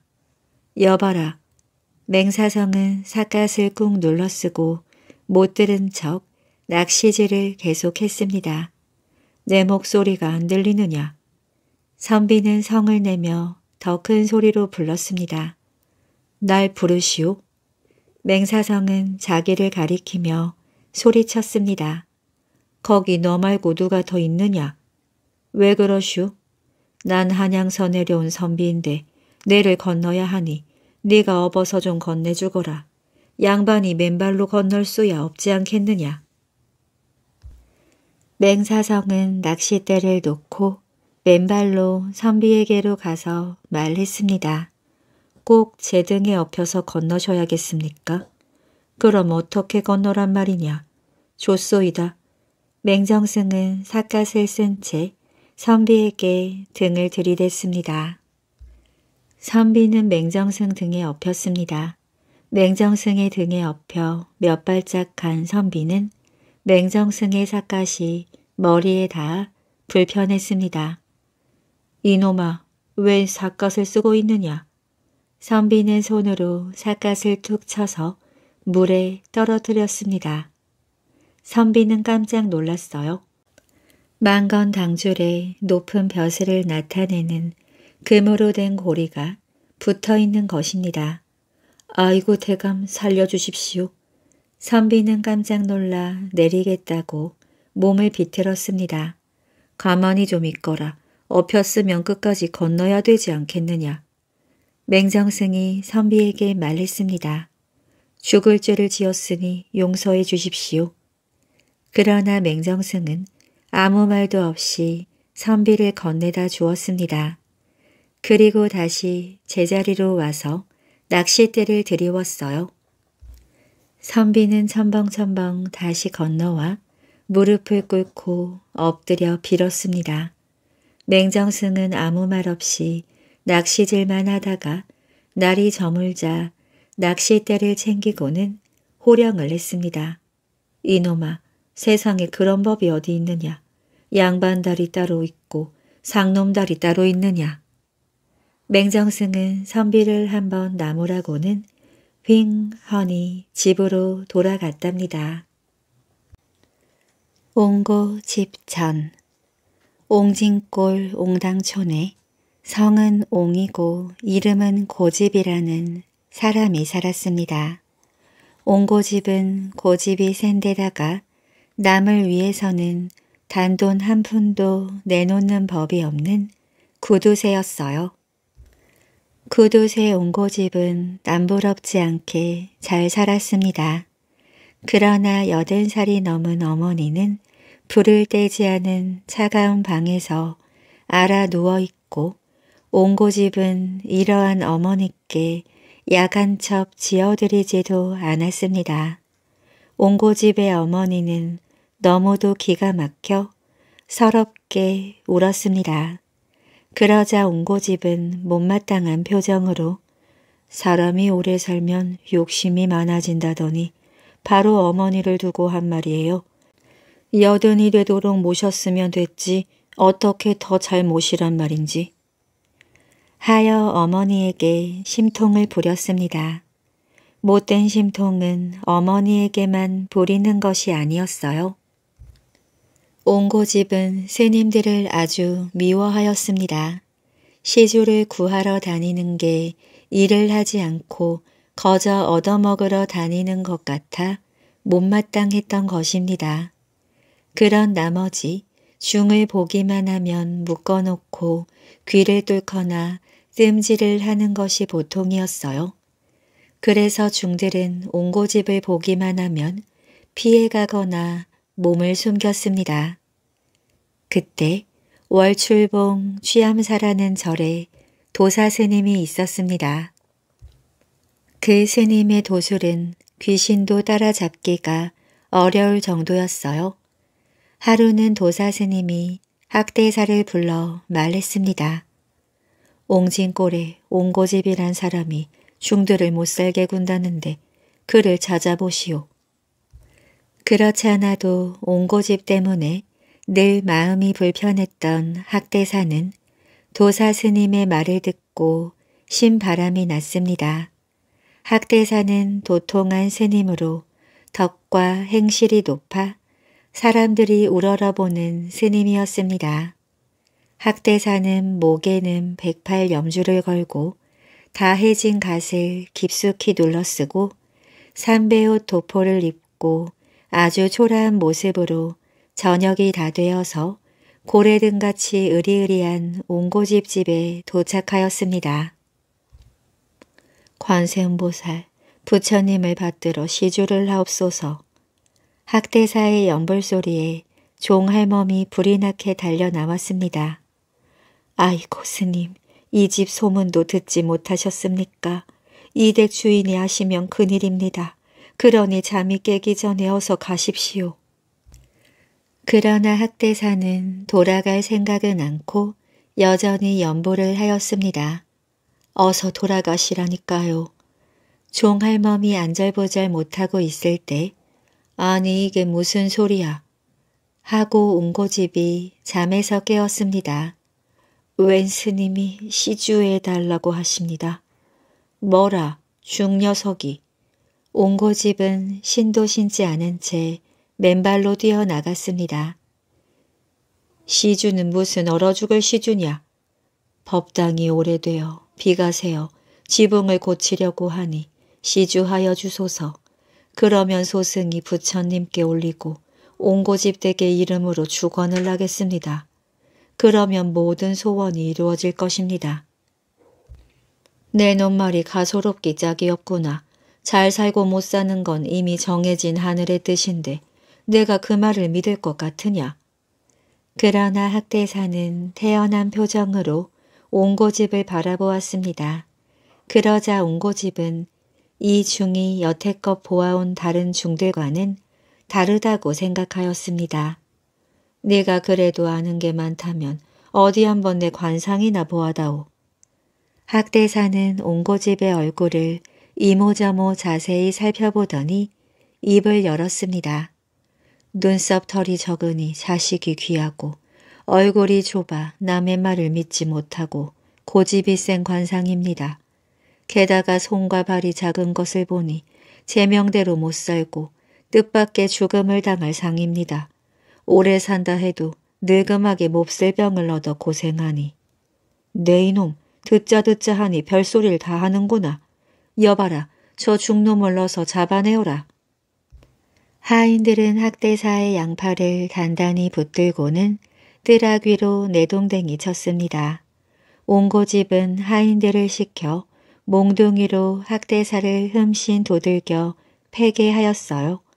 그러나 학대사는 그렇게 두들겨 맞고도 태연한 얼굴이어서 모두들 은근히 겁을 먹었습니다. 이놈아 젊은 놈이 새끼밥 꼬박꼬박 먹고 그렇게도 힘이 없느냐. 더 세게 쳐라. 어쩔 수 없이 몽둥이로 대사를 세게 내리쳤습니다. 그러자 딱 하고 몽둥이가 부러지는 소리가 났습니다. 그러나 학대사는 끙 소리 한 번 내지 않았어요. 더욱 화가 난 옹고집은 몽둥이가 될 만한 것들을 찾아 30대의 매를 채우게 하였습니다. 하지만 학대사는 매질이 끝난 뒤에도 아무렇지 않은 듯 일어나 깍듯이 인사를 하고 성큼성큼 그 집을 걸어 나갔습니다.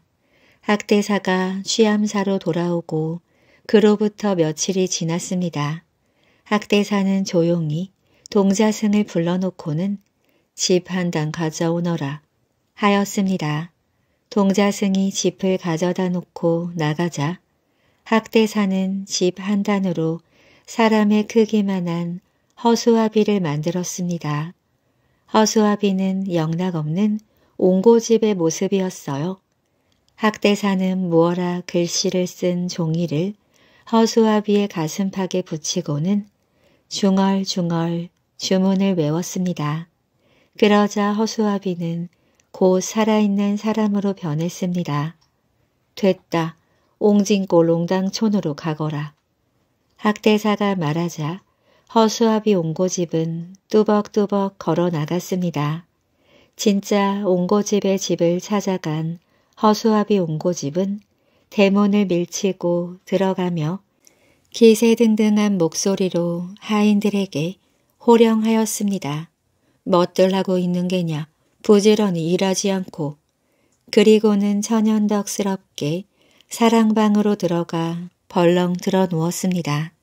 그때 밖에 나갔던 진짜 옹고집이 사랑채로 들어서며 사랑방의 가짜 옹고집을 보고 깜짝 놀랐습니다. 가짜 옹고집은 도리어 진짜 옹고집에게 너는 누구냐? 왜 남의 집에 함부로 돌아오는 거냐? 하며 야단쳤습니다. 기가 막힌 진짜 옹고집은 소리쳐 종들을 불러 모았습니다. 헐레벌떡 달려온 돌쇠, 몽치, 깡쇠는 똑같이 생긴 두 옹고집이 아웅다웅 다투는 모습을 보고 어리 빠져 서 있었습니다. 이 소식을 들은 옹고집 부인은 크게 놀라 얼굴이 새파래졌지요. 부인은 하인을 시켜 누가 진짜인지를 가려보려 하였으나 아무런 방법이 없었습니다. 끝내 속이 터진 부인은 꺼이꺼이 울기 시작했지요. 이것을 지켜보던 며느라기가 하도 안타까워서 어머니 진정하세요. 제가 한번 나가보겠습니다. 하고 아래였습니다.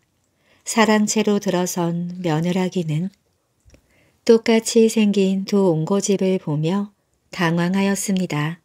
이리 보고 저리 보아도 이 사람이 저 사람 같고 저 사람이 이 사람 같았습니다.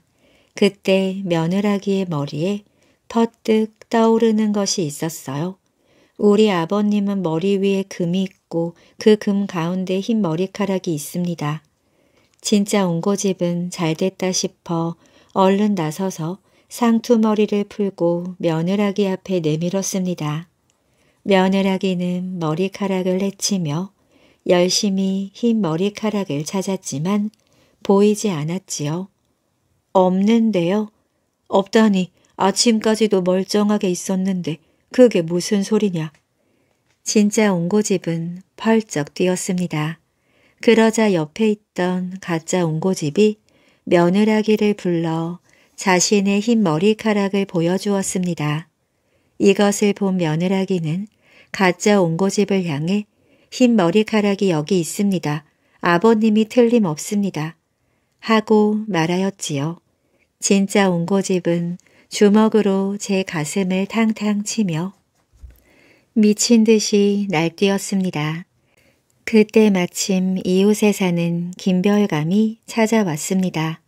가짜 옹고집은 성큼 나서며 김별감을 반가이 맞았습니다.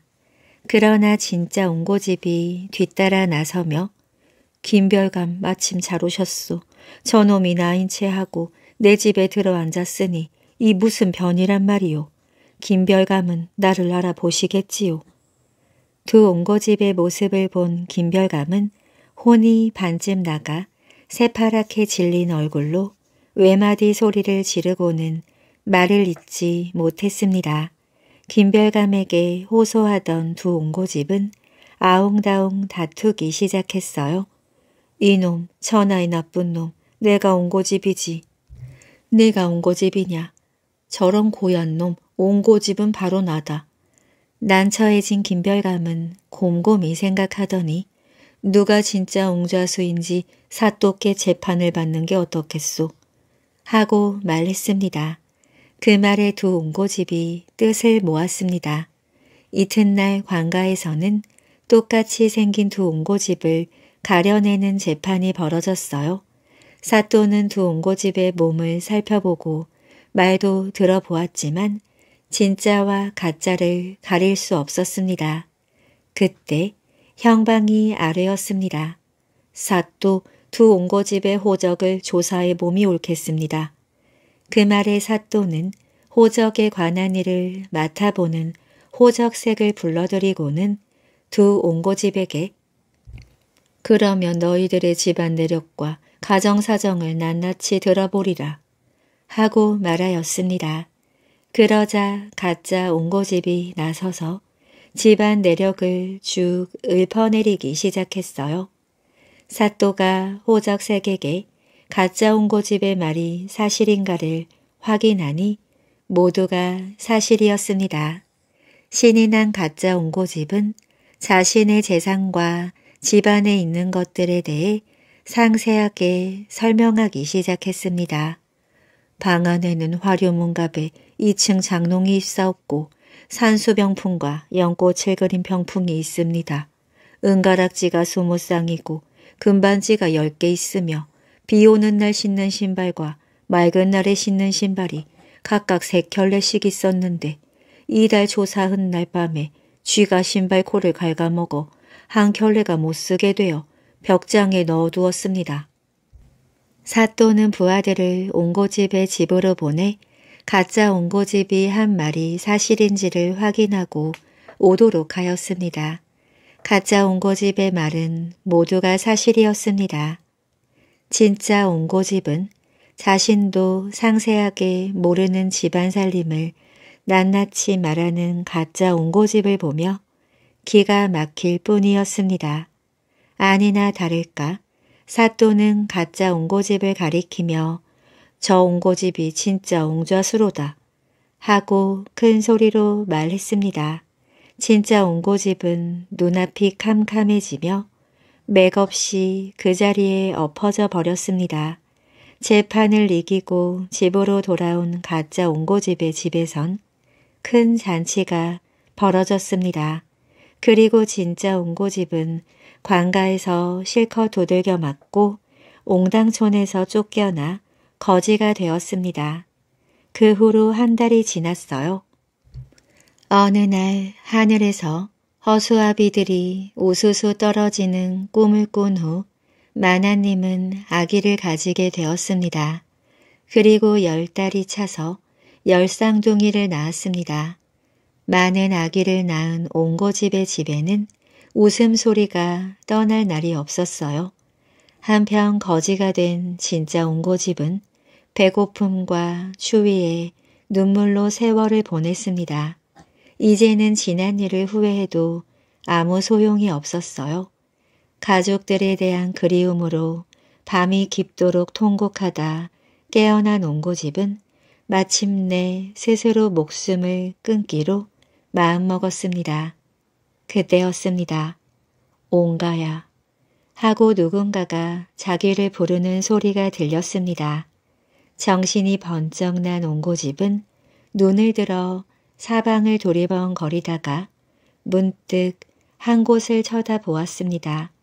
푸른 구름이 쌓인 절벽 위에 웬 노인이 흰 머리칼을 나부끼며 푸른 육모지팡이를 짚고 오롯이 서 있었습니다. 옹고집은 눈을 비비며 그 노인을 자세히 보았습니다. 그러자 학대사의 모습이 뚜렷이 보였습니다. 도사님, 죽을 죄를 지었습니다. 옹고집은 땅바닥에 엎드려 용서를 빌었습니다. 그러나 학대사는 소리 높여 옹고집을 꾸짖었어요. 이 천하의 몹쓸 놈아 앞으로도 늙은 어머니를 구박하고 죄 없는 스님들을 못살게 굴겠느냐. 아닙니다요. 살 길을 열어주신다면 평생도록 착하게 살겠습니다. 옹고집은 손바닥이 닳도록 빌었습니다.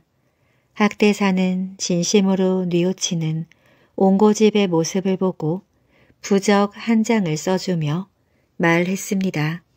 지난날 내가 지은 죄가 크지만 진심으로 뉘우치는 듯하니 이번 한 번만 용서해 주마. 이것을 가지고 집으로 돌아가면 괴이한 일이 생길 것이니라. 집으로 돌아가거들랑 새 사람이 되어라. 옹고집이 땅에 코가 닿도록 거듭 절을 하고 일어서니 학대사의 모습은 이미 사라지고 없었습니다. 집으로 돌아온 진짜 옹고집을 본 집안 사람들은 깜짝 놀라며 가짜 옹고집을 불렀습니다.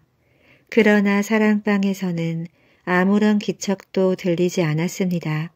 부인이 사랑방 문을 열어보니 방 안에는 허수아비 하나가 자빠져 있을 뿐이었어요.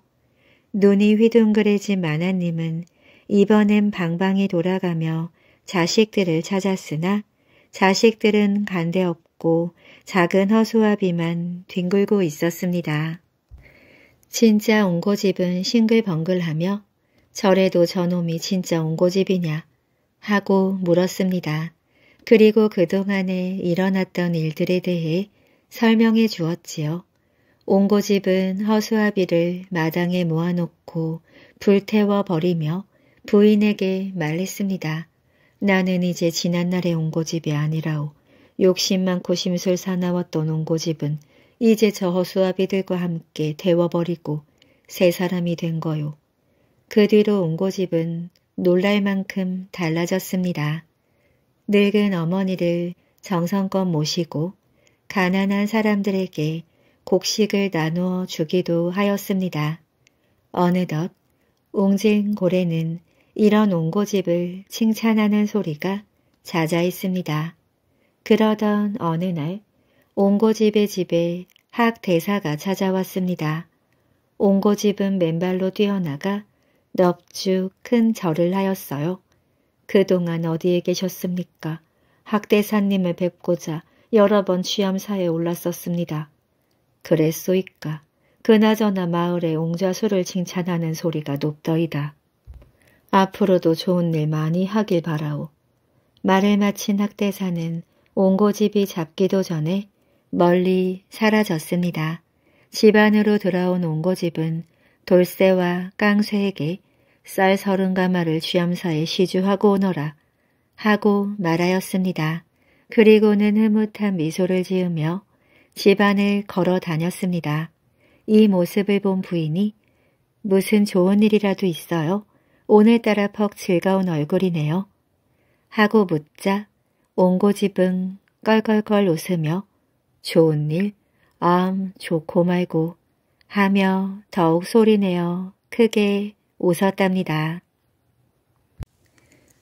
바위섬 이야기 김포의 공암나루 앞에서 똑바로 보이는 한강 한가운데 조그만 바위섬이 하나 있습니다. 이 섬을 광주섬이라고 부르는데요. 이 섬이 원래 경기도 광주 땅에 있었던 바위산이라고 합니다. 그런데 이 바위산이 어느 해 장마 때 떠내려 와서 이곳에 주저앉게 되어 섬이 되었다고 합니다.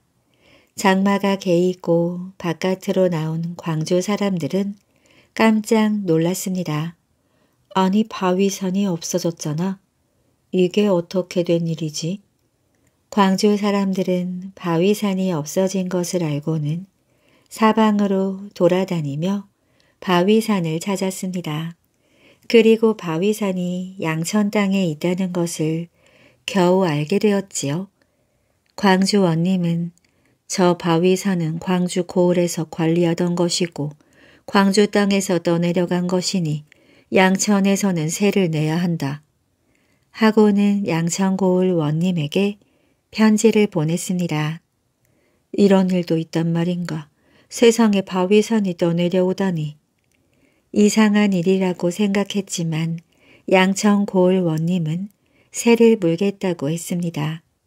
양천 땅에는 쌀이나무 나는 데가 없었습니다. 그런데 오직 이 바위섬에서 쌀이나무가 많이 났습니다. 따라서 바위섬은 광주에서 떠내려온 것이라고 볼 수밖에 없었기 때문입니다. 하여튼 양천 고을에서는 매년 쌀이비를 만들어 새로 바쳤어요. 그러던 어느 해 양천 고을의 원님이 바뀌었습니다. 새로운 원님은 바위섬 때문에 매년 광주 고을에 새를 낸다는 말을 듣고는 세상에 이런 일이 어디 있느냐. 길 가는 사람을 가로막고 물어보아라. 이게 말이 될 일인가. 하고 펄쩍 뛰며 광주 고을 원님에게 우리 고을에는 바위섬이 필요 없습니다. 그러니 앞으로는 새를 물지 않겠습니다. 그리고 바위섬이 필요하시다면 얼른 가져가십시오. 하고 편지를 보냈습니다. 이 같은 편지를 받은 광주고을 원님은 허허 이거 참 고약한 일이로구나. 그 섬을 무슨 수로 가져온단 말인가. 라고 생각하고는 새도 필요 없고 우리 고을에도 그 섬이 필요 없으니 그냥 가지라고 답장을 보냈답니다. 이렇게 해서 이 바위섬은 양천 것이 되고 이름만 광주 바위섬이라고 부르게 되었다 합니다. 매맞은 선비 옛날에 홍선비라는 사람이 살았습니다. 홍선비는 과거에 급제하기 전 강원도에 간 적이 있었어요. 어느 날 날이 저물었는데 여관은 보이지 않고 더 갈 수도 없었습니다. 한참 헤맨 끝에 홍선비는 길 옆에 있는 한 총가를 발견했습니다. 집 주인에게 사정을 이야기하고 하룻밤 묵어가기를 청했지요. 그 집에는 노인 부부와 젊은 며느리가 살고 있었습니다. 저녁밥을 먹고 나자 노인이 말했어요. 오늘은 친척의 제사를 지내기 위해 친척집으로 가야 합니다. 어린 며느리가 혼자 있으니 부디 손님께서는 저희 집을 잘 지켜주고 편안히 주무시기 바랍니다. 그러고는 며느리에게 말했습니다. 아가, 손님께서 불편함이 없도록 잘 보살펴 드려라. 예, 걱정하지 말고 다녀오세요. 며느리에게 다짐을 받은 노부부는 집을 나섰습니다. 방에는 홍선비와 젊은 안악 둘만 남게 되었어요. 안악은 손님에게 따뜻한 아랫목에서 잘 것을 권하고 자신은 윗목에 앉아 시를 자았습니다. 안악은 비록 시골 여자였지만 용모가 단정하고 아름다웠습니다. 홍선비는 문득 젊은 안악을 유혹하고 싶었습니다. 그는 자는 척하면서 한쪽 발을 안악의 무릎 위에 올렸어요.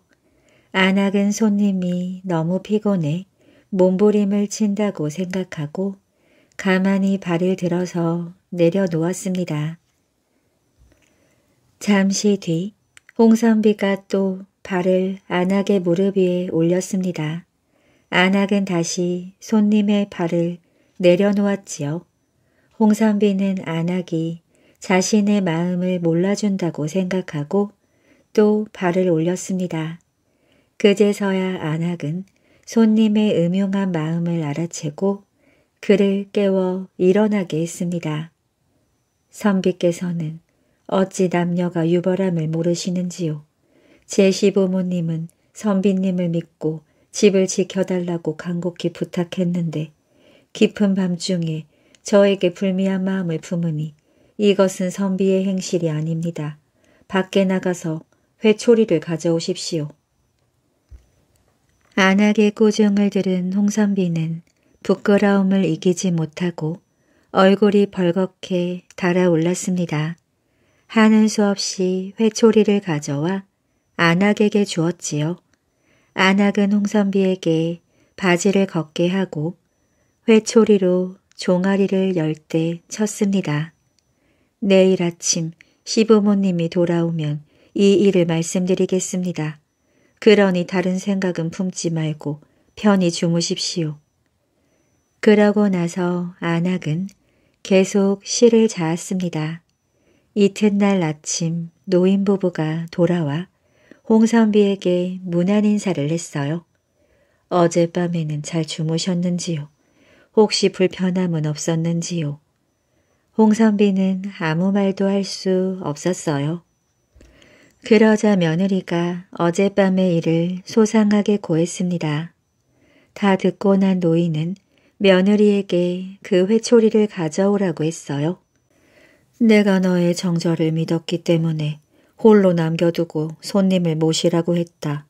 젊은 남자가 여자를 보고 마음이 동하는 것은 하나도 이상할 것이 없다. 말로 간곡하게 마음을 돌려야지 어찌 손님에게 매질을 한단 말이냐. 노인은 회초리로 며느리의 종아리를 친 뒤 홍선비에게 사과했습니다. 아닙니다. 모두 제 잘못입니다. 며느님을 너무 나무라지 마십시오. 홍선비는 부끄러운 마음에 자신의 잘못을 사죄하고 그 집을 나왔습니다. 그런데 그날도 길을 가다가 날이 저물어 한 총가에서 하룻밤 머물게 되었습니다. 그 집에는 젊은 부부가 살고 있었어요. 저녁상을 물리고 나자 주인 남자가 홍선비에게 말했습니다. 제가 마침 급한 일이 있어서 어디를 좀 갔다 와야겠습니다. 선비께서는 제가 없더라도 편히 쉬십시오. 말을 마친 주인 남자는 부인을 불러 손님을 잘 대접하라고 당부하고 집을 나섰습니다. 또다시 낯선 여자와 한방에서 자게 된 홍선비는 전날 일을 생각하면서 똑같은 실수를 하지 않겠다고 다짐했습니다. 방은 윗칸과 아래칸으로 나뉘어 있었으며 칸막이에는 문이 달려 있었어요. 홍선비는 윗칸에서 자기로 했습니다. 조금 있으니 여자의 목소리가 들려왔습니다. 손님, 윗칸은 추울 텐데 아래 칸에서 저와 함께 주무시지요. 나는 괜찮소. 홍선비는 여자가 문을 열고 들어올 것 같아서 아이의 등을 문에 바짝 대고 잠을 청했습니다. 잠시 뒤에 문 두드리는 소리가 들리더니 여자가 문을 밀고 들어오려고 했어요. 그러나 홍선비가 문을 가로막고 있음을 알고 여자는 홍선비에게 욕설을 퍼부으며 원망했습니다. 남자가 여자와 같은 방을 쓰면서도 아무런 마음도 없으니 필시 사내가 아니구나. 그렇다면 내가 다른 사내를 들여오지. 여자는 밖으로 나가더니 잠시 후 한 남자를 데리고 들어왔습니다. 둘은 온갖 음탕한 짓을 벌이다가 서로 껴안고 잠이 들었어요. 얼마 지나지 않아 주인 남자가 돌아왔습니다. 그는 누워있던 두 사람을 단칼에 죽이고 홍선비가 자는 방 앞에 서서 낮은 목소리로 부르더니 말했습니다. 손님 주무십니까? 누구시오? 홍선비는 속으로 벌벌 떨었지만 자신이 잘못한 것이 없기 때문에 문을 열어주었어요. 선비께서는 과연 대인입니다. 밤중에 낯선 여자와 같이 자게 되었는데 마음의 한 점 흔들림 없이 소인의 처를 범하지 않았습니다. 소인의 처는 전부터 다른 남자를 집에 들이기를 반복했습니다. 제가 오늘 기회를 잡아 두 사람을 죽인 것이니 너무 괴념치 마십시오. 이제 우리는 이곳에 머무를 수가 없으니 저와 함께 도망치시지요. 두 사람은 함께 문을 나섰습니다. 그런데 몇 걸음을 옮기던 남자가 다시 돌아서며 말했어요. 소인이 잊은 것이 있으니 잠시만 기다려 주십시오. 남자는 다시 집으로 들어갔습니다. 홍선비는 더 이상 그를 기다릴 필요가 없다고 생각하고 곧장 길을 떠났지요. 멀리서 보니 그 집이 불타고 있었습니다. 그 뒤로 홍선비는 과거에 급제해 강원도 관찰사가 되었습니다. 어느 날 거리를 행차하다가 길을 쓸고 있는 한 백성을 보고 그를 불러오게 했어요. 너는 나를 알겠느냐? 소인이 어찌 사또나리를 알겠나이까? 너는 뭐냐 뭐월 내게 도망치자고 한 일을 기억하느냐? 그 말을 듣고서야 남자는 비로소 관찰사를 알아보고 엎드려 눈물을 흘렸습니다. 홍 관찰사는 그를 가명으로 불러 음식을 대접하고 후한 재물을 주어 집으로 보냈다고 합니다. 귀신 쫓는 주문 옛날에 나이 많은 할아버지 둘이 제 하나를 사이에 두고 이웃해서 살았습니다.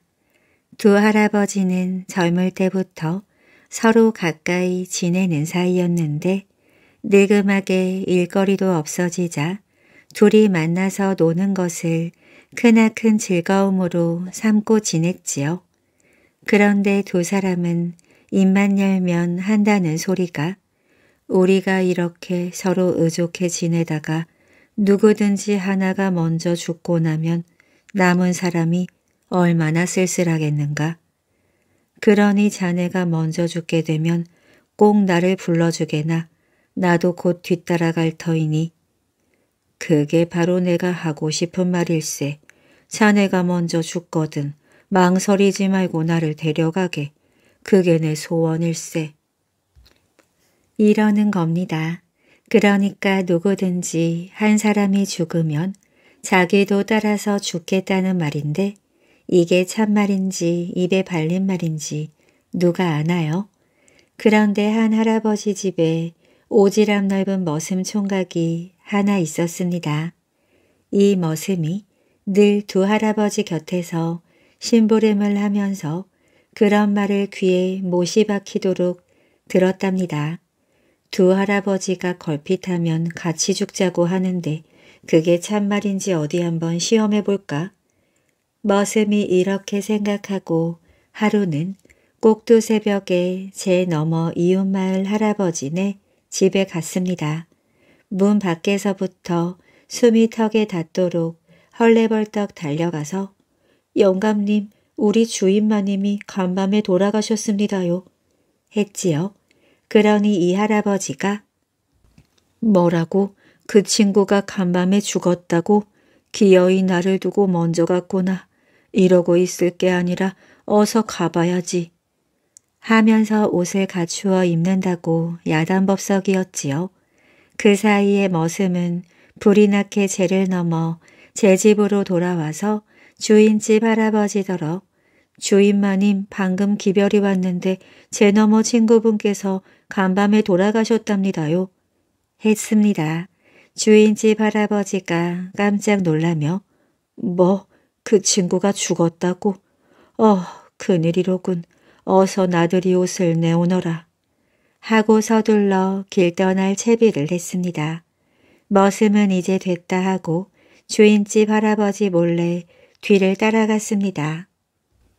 제 너머 저쪽에서는 이웃마을 할아버지가 허겁지가 몰라오고 이쪽에서는 주인집 할아버지가 헐레벌떡 올라갔습니다. 그러다 보니 두 할아버지가 고갯마루에서 딱 마주쳤습니다. 머슴이 가만히 보니까 먼저 주인집 할아버지가 친구 모습을 보더니 이크 하고 기겁을 하면서 슬금슬금 옆으로 피하더래요. 제 넘어 사는 할아버지도 에구머니 하면서 슬슬 뒷걸음질을 치더랍니다. 둘이서 서로 힐끔힐끔 건너다 보며 엉거주춤 서 있다가 갑자기 입속으로 무슨 말을 중얼중얼 하더니 누가 먼저랄 것도 없이 냅다 오던 길을 되짚어 달아나더라는 겁니다. 머슴이 얼른 주인집 할아버지를 앞질러 집에 돌아와 있으니 주인이 얼굴이 파랗게 질려가지고 쉴 새 없이 뭔가 중얼거리면서 돌아오고 있었습니다. 주인마님 뭘 그리 골똘히 왜십니까요? 머슴이 능청을 떨면서 물으니까 귀신 쫓는 주문이다. 얼른 대문 밖에 소금 뿌려라. 하고는 밑구멍이 빠져라고 방으로 들어갔답니다. 머슴이 그 길로 제 너머 할아버지네 집단 밖에 가서 일부러 주인집 할아버지 목소리를 흉내내어 여보게 내가 왔네. 제 너머 친구가 왔어.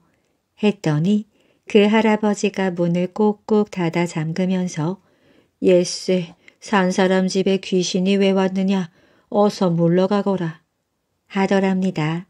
그러니 같이 죽자고 한 게 죄다 입에 발린 말이라는 것을 알 수 있었답니다. 꿈에서 만난 누이 동생 어떤 재상에게 딸이 하나 있었습니다. 이 딸은 결혼한 지 1년도 못 되어 남편을 잃고 부모와 함께 살고 있었어요. 하루는 재상이 밖에서 들어오다가 딸의 방을 보게 되었습니다. 화장을 짓게 한 딸이 화려한 옷을 입고 거울에 자신을 비춰보더니 잠시 후 거울을 던져버리고 슬프게 울었어요. 그 광경을 지켜본 재상은 딸의 처지를 측은하게 여겼습니다. 재상은 방으로 돌아와 한참을 말없이 앉아 있었습니다. 그때 마침 젊은 무관 하나가 들어와 문안 인사를 올렸어요. 그는 재상 집에 자주 드나드는 사람으로 재상을 잘 따랐습니다. 변변한 집도 없고 아내도 없었지만 건강한 몸과 따뜻한 마음을 가진 사람이었지요. 재상은 곁에 있는 사람들을 물리치고 물었습니다. 자네 신세도 어찌 이리 공공한가? 혹시 내 사위가 되지 않겠는가? 무변은 황공하고 어리둥절한 마음으로 말했습니다. 무슨 말씀이신지요? 소인은 대감의 가르침을 잘 몰라서 감히 명을 받들지 못하겠습니다. 장난으로 하는 말이 아니네. 재상은 은자가 가득 든 상자를 무변에게 주며 말했습니다. 이것으로 말과 가마를 구하고 오늘 밤 동행이 풀리는 시각에 맞춰 우리 집 뒷문 밖에 와서 기다리게. 약속 시간을 꼭 지켜야 하네. 무변은 반신반의하며 은자를 받아 재상이 시키는 대로 준비하고 뒷문에서 기다렸습니다. 이윽고 어둠 속에서 재상이 한 여자를 데리고 나와 가마 안으로 들여보낸 후 말했습니다. 자네는 이제 함경도로 가서 살게. 그리고 우리 집과는 인연을 끊어야 하네. 무가는 곡절도 모른 채 가마를 이끌고 성 밖을 나와 길을 떠났습니다. 집으로 돌아온 재상은 딸의 방에 들어가 문을 잠그고 통곡했지요. 불쌍한 내 딸이 자교를 했구나. 놀란 집안 사람들이 모두 뛰어나왔습니다. 재상은 문 밖에 있는 가족들을 향해 말했어요. 딸은 평소에 다른 사람을 만나는 것을 싫어했다. 내가 직접 염습을 할 것이니 비록 오랍이라 해도 들어오지 마라. 그러고 나서 재상은 혼자서 이불을 뭉쳐 시체 모양을 만들고 연포로 싸서 가지런히 묶었습니다. 그렇게 해서 관에 넣으니 누구도 의심하는 사람이 없었지요. 딸은 시댁 선산 아래 묻혔습니다. 몇 년 뒤 그 재상의 아들이 암행어사가 되어 함경도에 가게 되었어요. 어느 날 한 인가에서 묵게 되었는데 마침 그 집에 아이들이 책을 읽고 있었습니다. 둘 다 용모가 맑고 준수했는데 어딘지 자신과 얼굴이 닮은 듯 했습니다. 어사는 이상하게 생각했지만 피곤해서 그냥 잠을 청했어요. 그런데 밤이 깊자 어떤 여자가 와 어사의 손을 잡고 흐느꼈습니다. 놀라서 여자의 얼굴을 찬찬히 살펴보니 몇 해 전 죽은 누이 동생이었어요. 아니 이게 어떻게 된 일이냐? 죽은 네가 살아있다니. 제 처지를 불쌍히 여긴 아버님께서 저를 이곳으로 보냈습니다. 여기서 오라버니를 뵈니 꿈인 듯합니다. 나를 어찌 알아보았느냐? 아까 아이들 아버지와 인사할 때 보고 알았습니다. 딸은 아버지가 시킨 대로 이곳에 살면서 아들 둘을 낳았습니다. 방에서 책을 읽던 아이들이 바로 그 아이들이었지요. 어사는 할 말을 잃어 날이 새는 동안 우두커니 앉아있다가 누이 동생과 그 남편을 불러 그동안의 회포를 풀었습니다. 임무를 마치고 집으로 돌아온 어사는 아버지 방에서 밤중까지 이런저런 이야기를 하며 시간을 보냈습니다. 밤이 깊어 주위가 조용해지자 아들이 목소리를 낮추고 말했습니다. 아버님, 이번 행차에서 괴이한 일이 있었습니다. 무슨 일이 있었냐? 아들은 죽은 누이 동생을 만난 일을 상세하게 고했습니다. 그 말을 들은 재상은 눈을 부릅뜨고 아들을 뚫어지게 쳐다보며 아무 말도 하지 않았답니다. 재상의 굳은 얼굴을 본 아들은 감히 더 말을 꺼내지 못하고 물러났다고 합니다. 10년 공부한 이선비 옛날 남산 아래 이시성을 가진 가난한 선비가 살고 있었습니다. 그는 책 읽는 것만 좋아해서 집안 살림을 돌보지 않았어요. 어느 날 이선비가 그의 부인에게 말했습니다. 나는 10년 동안 주역을 읽을 생각이요. 그동안 당신이 식량을 구해 끼니를 이을 수 있겠소? 그렇게 하겠습니다. 서방님은 걱정하지 마시고 책 읽는 데에만 집중하십시오. 부인의 허락을 얻은 이선비는 방문을 굳게 잠궜습니다. 그리고 겨우 밥 한 그릇 들어갈 만한 크기로 구멍을 내어 그곳으로 밥과 반찬을 들여보내도록 했습니다.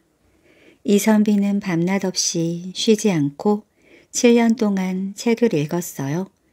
어느 날 밥이 들어오기를 기다리며 창틈을 내다보았습니다.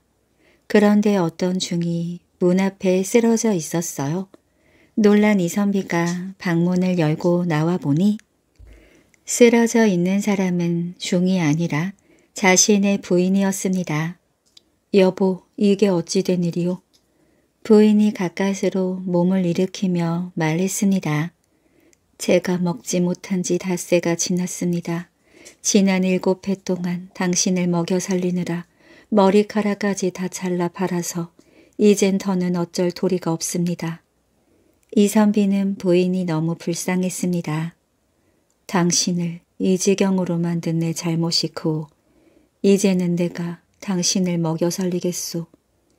집에서 나온 이선비는 나라 안에서 제일 가는 부잣집인 홍판선의 집으로 갔습니다. 이선비가 홍판서에게 말했어요. 대감과 저는 한 번도 만난 적이 없지만 제가 돈을 쓸 일이 있어서 그러니 3만 양만 구워줄 수 있겠습니까? 이 선비를 지그시 보던 홍판서가 말했습니다. 3만 양을 담으려면 수레가 많이 필요하겠네. 그래, 어디로 보내주면 되는가? 이 선비가 대답했습니다. 오늘 안으로 우리 집에 보내주십시오. 그렇게 말하고 이 선비는 집으로 돌아왔습니다.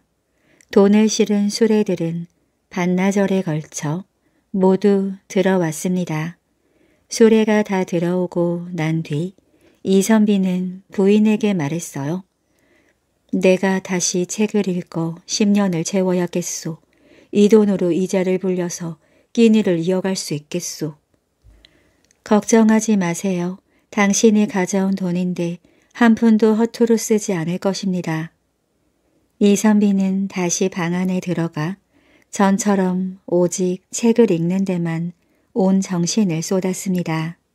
이선비의 아내는 본래 총명하고 재물을 모으는 재주가 있었어요. 이선비가 가져온 돈으로 물건을 흔할 때 사두었다가 귀할 때 팔기를 거듭했습니다. 몇 년을 그렇게 하다 보니 꾸어온 돈보다 더 많은 이익을 남겼습니다. 이윽고 10년이 되자 책 읽기를 마친 이선비가 방문을 열고 나와 아내에게 말했습니다. 당신이 고생한 덕분에 끼니 걱정 없이 10년을 채웠소. 이 돈은 모두 우리 것이 아니니 이제 주인에게 돌려주는 것이 좋겠소. 서방님 뜻대로 하시지요. 이선비는 처음에 꾸어온 3만냥과 아내가 불린 돈까지 모두 수레에 싣고 홍판서 집으로 갔습니다. 홍판서가 말했어요. 내가 자네에게 빌려준 돈은 3만냥이네. 그 이상의 돈은 받을 수 없네. 이선비가 말했습니다. 이 돈은 모두 대감께서 빌려주신 3만냥에서 나왔으니 당연히 대감의 것입니다. 제가 책을 읽는 동안 우리 부부가 끼니를 굶는 일 없이 잘 지냈으니 그것으로 충분합니다. 어찌 받지 않겠다고 하시는 것입니까? 이선비가 아무리 말을 해도 홍판서는 한사코 3만냥만 받고 나머지 돈은 이선비에게 돌려주었습니다. 집으로 돌아온 이선비는 부인과 함께 살던 집을 떠나 강원도의 깊은 산골로 들어갔습니다. 부부는 그곳에서 집을 짓고 논밭을 사서 가난한 사람들에게 나누어 주었어요. 그리고 사람들이 열심히 일을 한 덕분에 그 마을은 한 해 추수가 몇천 석이 넘는 큰 부자 마을이 되었습니다. 이선비의 집도 풍족함이 넘쳐났지요. 이는 모두 이선비의 높은 식경과 부인의 현명한 내조 덕분이었습니다. 처음 본 사람의 댐데미를 알아보고 선뜻 돈을 빌려준 홍판서의 인간적인 멋도 빼놓을 수 없습니다. 임진왜란이 일어나 많은 백성이 죽임을 당할 때도 이선비가 사는 마을만은 병화를 겪지 않았습니다. 그래서 마을 사람들은 이 마을을 산속의 무릉도원이라고 불렀답니다. 약초꾼 이야기 옛날에 김시성을 가진 약초꾼이 있었습니다. 그는 약초를 캐서 팔아 생계를 꾸려갔지요. 하루는 친구 두 사람과 약초를 캐러 깊은 산속으로 들어갔습니다. 높은 곳에 올라가서 아래를 내려다보니 큰 바위가 사방으로 둘러서 있고 그 가운데 산삼이 모여 자라고 있었습니다. 세 사람은 놀라서 기쁨을 감추지 못했어요. 그런데 그곳까지 내려가는 길을 찾을 수 없었습니다. 바위들이 워낙 가팔라서 길을 낼 수가 없었지요. 그런데 한 친구가 꾀를 내었습니다. 여보게들 칡 줄기로 줄을 만들어 우리 중 한 사람이 저기에 내려가면 어떻겠나? 그거 참 좋은 방법이네. 산삼은 똑같이 나누기로 하세. 그들은 곧 칡 줄기를 꺾어 여러 겹으로 꼬아 긴 줄을 만들고 그 끝에 망태를 달았습니다. 두 친구는 김씨를 망태에 실어 아래로 내려보냈어요. 김씨가 산삼을 캐서 망태 속에 넣으면 두 사람은 망태를 끌어올려 산삼을 옮겼습니다. 그런데 김씨가 남은 산삼을 캐서 올라가려 하자 두 친구는 줄과 망태를 두고 그냥 가버렸습니다. 친구들의 도움 없이 김씨 혼자는 그 바위를 올라갈 수가 없었어요. 이보게들 거기 있는가? 김 씨는 친구들을 불러 보았지만 아무 대답이 없었습니다. 사방을 둘러보아도 깎아지른 절벽이라 날개가 달리지 않는 한 그곳에서 나올 방법이 없었어요. 낭패다. 이 사람들에게 급한 일이 생긴 게 분명해. 김 씨는 그런 와중에도 친구들을 원망하지 않았습니다. 곧 날이 어두워졌습니다. 김 씨는 배가 고파 남아있는 산삼을 먹으며 허기를 때웠어요. 졸음이 몰려오자 바위 틈에서 잠을 잤습니다. 하루가 가고 이틀이 가고 어느새 옛 일곱 날이 지났습니다. 김 씨는 배가 고플 때마다 산삼을 조금씩 먹었지요. 팔뚝만한 산삼도 먹었으니 밥을 먹지 않아도 기운이 났습니다. 하루는 바위 위를 바라보니 풀과 나무들이 한쪽으로 쓰러지며 쉿쉿 하는 바람 소리가 들려왔습니다. 조금 후에 머리는 항아리만 하고 눈은 횃불처럼 생긴 거대한 구렁이가 김씨가 누워있는 곳으로 내려왔습니다. 구렁이의 몸은 큰 나무보다 두 배 정도 길었습니다. 이젠 꼼짝없이 죽었구나. 구렁이는 김씨 앞을 가로질러 가더니 꼬리를 김씨 앞에 내렸다가 흔들기를 반복했어요. 김씨는 속으로 생각했습니다. 이 구렁이가 나를 보고 물지도 않고 꼬리를 흔드는 것이 필시 나를 구할 생각이 있는 것 같다. 김씨는 구렁이의 꼬리에 올라타고 허리띠를 풀어 자신의 몸을 단단히 묶었습니다. 구렁이가 꼬리를 한번 휘두르자 어느새 김씨는 바위 위에 올라와 있었습니다. 구렁이는 온데간데 없었어요. 참으로 신령스러운 구렁이구나. 김씨가 길을 내려가니 두 친구가 큰 나무 아래 쪼그리고 앉아 있었습니다. 자네들은 아직도 여기에 있는가? 그런데 아무 대답이 없어 다가가 보니 두 친구 모두 죽은 뒤였고 산삼은 그대로였습니다. 두 친구가 죽은 이유를 모르는 김 씨는 서둘러 그들의 집으로 가서 죽음을 알렸어요. 제가 두 사람과 함께 산삼을 캐서 집으로 돌아오는데 두 사람이 갑자기 구토와 설사를 하더니 죽었습니다. 독초를 잘못 먹어 그런 듯합니다. 이 산삼은 우리가 똑같이 나눈 것인데 친구가 죽음을 당했는데 제가 어찌 산삼을 가지겠습니까? 이 산삼을 팔아 친구의 장례비로 쓰십시오.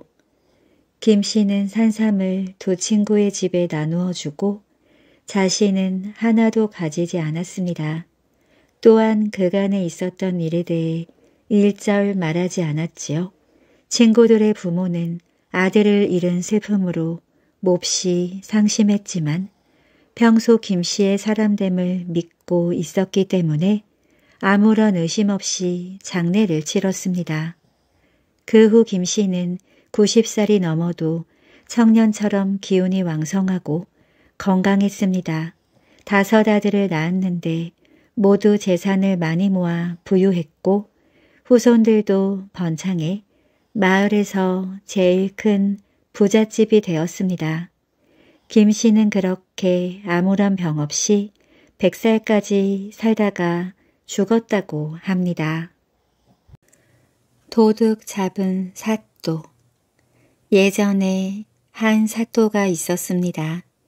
그 사또는 고을을 잘 다스려 가는 곳마다 사람들에게 칭송을 받았어요. 특히 남의 물건을 훔쳐간 도둑을 잘 잡아내어 도둑 잡는 사또로 불렸습니다. 하루는 어떤 중이 찾아와 억울함을 하소연했어요. 소승은 근방의 절에 사는 중입니다. 종이를 만들어 팔면서 생활하고 있습니다. 그런데 오늘 시장에 종이 한 뭉치를 지고 왔는데 길가에 잠시 내려놓고 쉬는 사이에 그만 종이가 없어져 버렸습니다. 사방을 아무리 찾아보아도 끝내 찾지 못했습니다. 살아가는 미천을 잃어버렸으니 돌아갈 희망 또한 없어졌습니다. 제가 살 수 있도록 종이를 꼭 찾아주실 것을 사또께 엎드려 정합니다. 사정을 들은 사또가 말했습니다. 우선 내가 종이를 잘 지키지 못한 책임이 크다. 사람이 많은 곳에서 잃어버렸으니 찾기 힘들 것이다. 찾아본들 누구에게 종이가 있는 곳을 물어본단 말이냐. 시끄럽게 하지 말고 그만 물러가거라.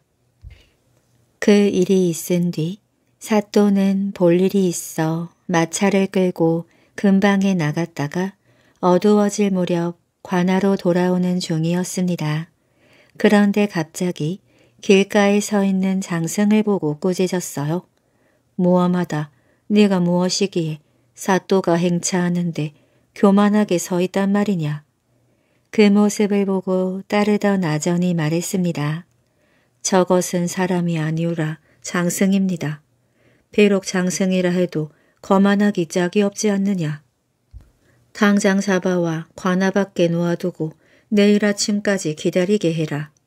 또한 밤에 도망갈 우려가 있으니 고을의 관문을 지키는 자를 제외하고 모두 관아에 남아 숙직을 하라. 예, 분부대로 하겠사옵니다. 대답은 했지만 관아의 하인들은 모두 사또를 비웃었습니다. 그날 밤 관아에서 숙직을 한 사람은 아무도 없었어요.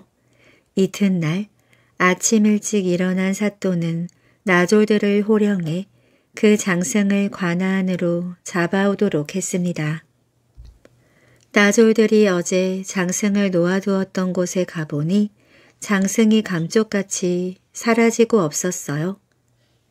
나졸들은 비로소 겁을 냈습니다. 근처를 두루 찾아보았지만 허사였지요. 사또가 큰 소리로 호통을 치며 성화를 부리자 나졸들은 그제야 장승을 잃어버렸다고 고하며 엎드렸습니다. 사또는 짐짓 분노한 표정으로 말했어요. 관속의 신분으로 관아의 주인인 내 명령을 따르지 않아 장승을 잃어버렸으니 벌을 내리지 않을 수 없다. 아전이야 관속들은 각자 벌지를 한 묶음씩 구해 즉각 대령하라.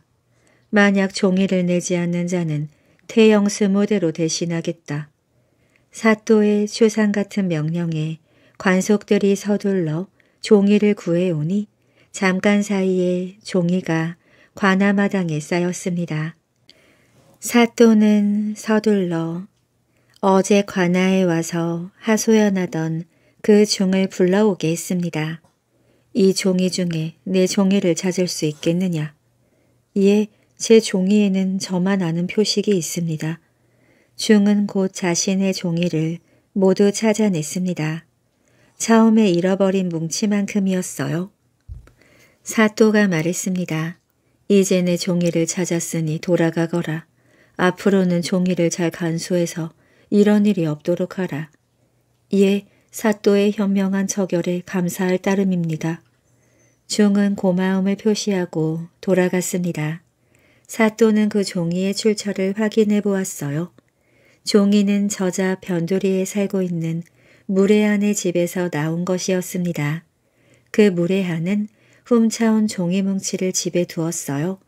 그런데 마침 관아에서 종이를 구한다는 소문이 퍼지자 종이값이 올랐고 그 기회에 종이를 모두 내다 팔았습니다.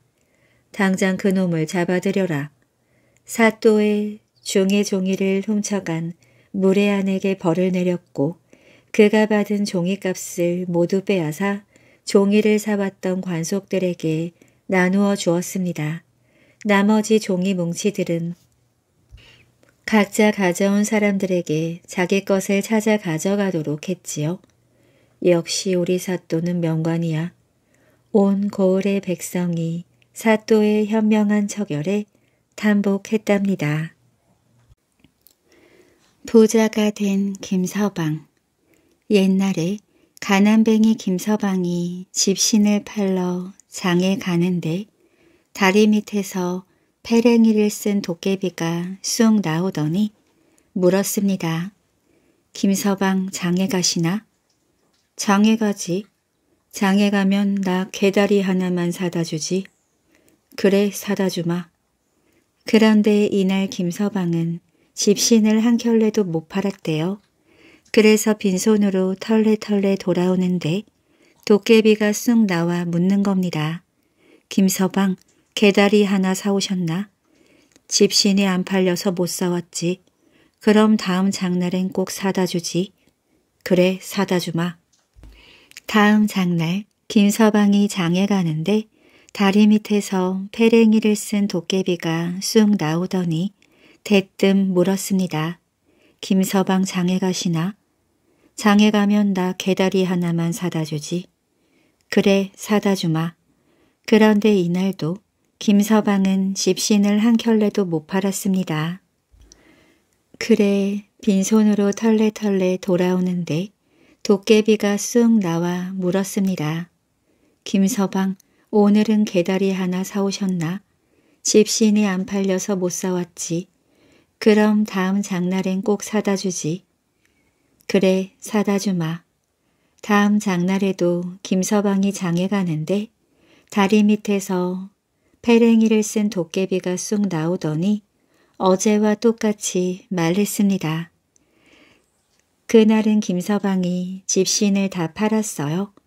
그래서 집신 판 돈으로 양식거리도 사고 고등어 자반도 사고 따로 서푼을 들여 개다리도 하나 샀지요. 그걸 들고 지고 돌아오는데 도깨비가 쑥 나와 묻더랍니다. 김서방 오늘은 개다리 하나 사오셨나? 옛다 개다리 김서방은 도깨비한테 개다리를 건네주고 집으로 돌아왔습니다. 그날 밤 김서방이 잠을 자려는데 페랭이를 쓴 도깨비가 찾아와 말하는 겁니다. 김서방 나 메밀묵 좀 쑤어주지. 그래 쑤어주마. 김서방은 메밀묵을 한 소 쑤어 주었어요. 도깨비는 메밀묵을 뚝딱 먹어 치우고는 돌아갔습니다. 그 이튿날 밤 김서방이 잠을 자려는데 도깨비가 찾아와서 대뜸 말하는 겁니다. 김서방 나 수수팥떡 좀 해주지. 그래 해주마. 김서방은 수수팥떡을 한시로 해줬습니다. 도깨비는 수수팥떡을 뚝딱 먹어치우고 돌아갔지요. 그러더니 도깨비란 놈이 하루도 안 거르고 날마다 찾아와서 메밀묵을 쏘아달라, 개고기 삶아달라, 수수팥떡 해달라 끝도 없이 보채는 겁니다. 이러다가는 집안 살림이 다 사라지게 생겼습니다. 하루는 김서방이 도깨비한테 물었어요. 넌 세상에서 제일 무서운 게 뭐니? 나야 세상에 무서운 게 없지. 진짜 없어? 진짜 없지. 그럼 백강아지도 안 무서워? 도깨비는 겁이 나서 막 벌벌 떨면서도 안 무섭다고 하는 겁니다. 그럼 백말피도 안 무서워? 도깨비는 겁이 나서 막 귀를 틀어 막으면서도 안 무섭다고 하는 거예요. 그럼 말 대가리도 안 무섭니? 도깨비는 겁이 나서 뒤로 낮아빠지면서도 무섭지 않다고 했습니다. 그러더니 김서방한테 물었지요. 그러는 김서방은 세상에서 제일 무서운 게 뭐야? 나야 돈이 제일 무섭지. 돈 앞에서는 아주 꼼짝을 못해. 이튿날 김서방은 푸주간에서 백말피를 한 바가지 가져다가 온 집안에 뿌려 놓았습니다. 말대가리도 하나 얻어다 대문 위에 걸어두었지요. 멋모르고 김서방 집에 온 도깨비는 백말피의 말 대가리를 보고는 너무너무 놀라서 걸음아 날 살려라 심리 밖으로 주랭랑을 놓았습니다. 몇 날 며칠이 지나서도 화가 안 풀린 도깨비는 안가품을 한다고 김서방 집 앞에 와서 마당으로 돈을 마구 뿌렸어요. 이놈의 김서방아 혼 좀 나봐라. 이러면서 뭉텅이로 뿌렸습니다. 아이고 무서워. 김서방은 무서운 채 울밑에 머리를 박고 달달달달 떨었어요. 그걸 본 도깨비는 더 신이 나서 돈을 뿌리고 또 뿌렸습니다. 도깨비가 간 뒤에 김서방이 고개를 들어보니 마당이 온통 돈천지였어요. 이렇게 해서 김서방은 단번에 벼락 부자가 되었습니다. 김서방은 그 돈을 몽땅 들여 땅을 샀습니다. 나중에 도깨비가 와서 돈을 도로 내놓으라고 할지도 모르니까요. 딱 잡아떼고 안 돌려주면 그만이지만 그러면 돈을 낙엽이나 모래로 바꿔버릴지도 모릅니다. 도깨비한테는 그런 신기한 재주가 있으니까 말이에요. 얼마 뒤 도깨비가 김서방네 집을 기웃거렸습니다. 돈벼락에 혼쭐이 난 김서방을 약 올리려고 찾아온 겁니다. 그런데 어째 무섭다는 소리는 안 나고 깔깔깔 웃음소리만 나는 겁니다. 그제야 도깨비는 자기가 꼴딱 속아 넘어간 걸 알아챘습니다. 내 돈 도로 다 내놓으시지. 하나도 없다. 내 돈 다 어디다 썼어? 다 땅 샀지. 그러면 돈 대신 땅이라도 내놓아. 땅을 떠가든 퍼가든 네 마음대로 해라. 도깨비는 불이 나게 밖으로 달려나갔습니다.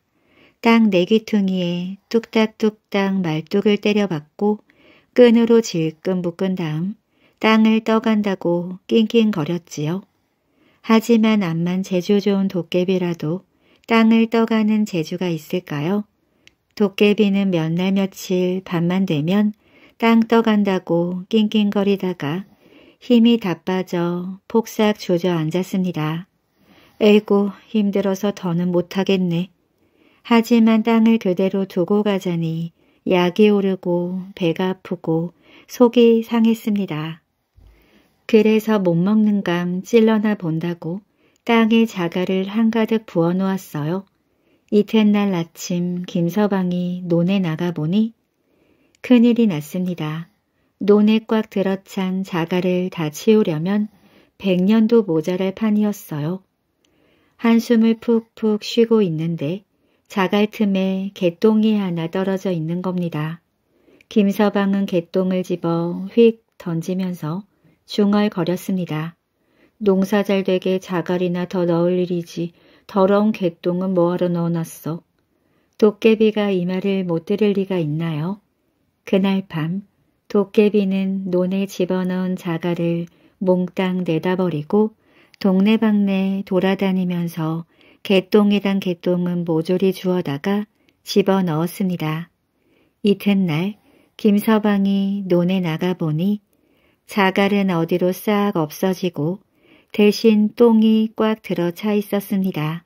얼씨거나 좋다, 지화자 좋을시고 하며 김서방은 그 똥을 썩썩 갈아엎고 벼를 심었지요.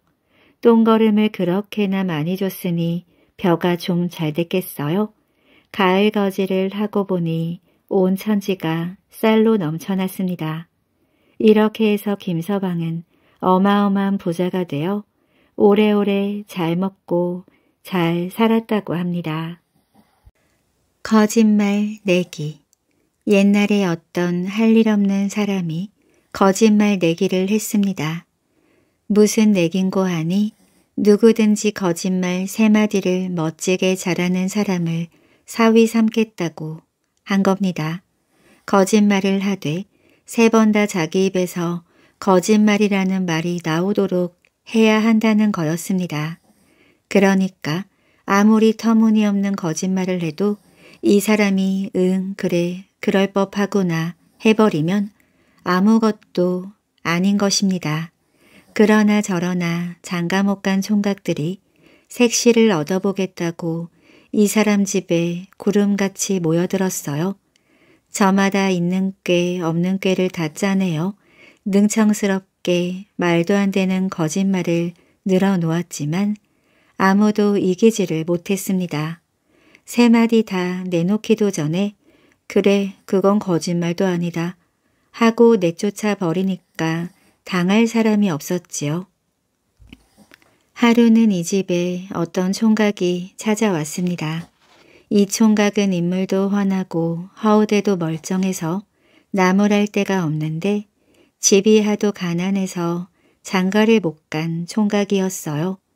이 총각이 마당에 들어서니까 마침 이 집에서 별을 베다가 마당질을 한다고 일꾼들이 바쁘게 일을 하고 있었습니다. 그걸 보고는 이 총각이 배를 잡고 웃으면서 한다는 말이 아이고 우스워라 아직도 이렇게 구식으로 마당질을 하는 집이 다 있네 하는 겁니다. 주인이 그 말을 들으니 은근히 화가 났어요. 마당질하는데 무슨 놈의 구식이 있고 신식이 있느냐 말입니다. 그래서 그럼 신식으로 하면 어떻게 하나? 하고 퉁명스럽게 물었지요. 그러니까 이 총각이 입에 침도 안 바르고 거짓말을 술술 늘어놓았습니다. 그게 말이지요. 우리 집에서는 이렇게 합니다. 봄에 논둑을 쌓을 때 벽 키만큼 높이 쌓습니다. 그래 놓고 벼가 다 익으면 논에 물을 가득 대지요. 그러면 벼 밑동은 다 물에 잠기고 이상만 물 위에 나올 것 아닙니까? 그러다가 날이 추워서 물이 꽁꽁 얼면 얼음 판 위에 들어가서 도리깨로 이삭을 두들겨 패지요. 그러면 나달이 아주 잘 떨어집니다. 주인이 들어보니 정신 나간 소리였습니다. 그런데도 총각은 시치미를 뚝 떼고 아주 정색을 하고 말했어요. 옛기 젊은 사람이 무슨 거짓말을 그리 심하게 하나 하고 나무랐지요. 총각은 그 말을 들었는지 못 들었는지 눈만 멀뚱멀뚱하고 있었습니다. 그러다가 마당 한쪽 구석에 차려놓은 새참 그릇을 보고는 또 배를 잡고 웃었어요. 아이고 우스워라. 이 집 새참에는 그 흔해 빠진 소고기 한 점 없네 그려. 세상에 소고기 없이 무슨 밥을 먹는담.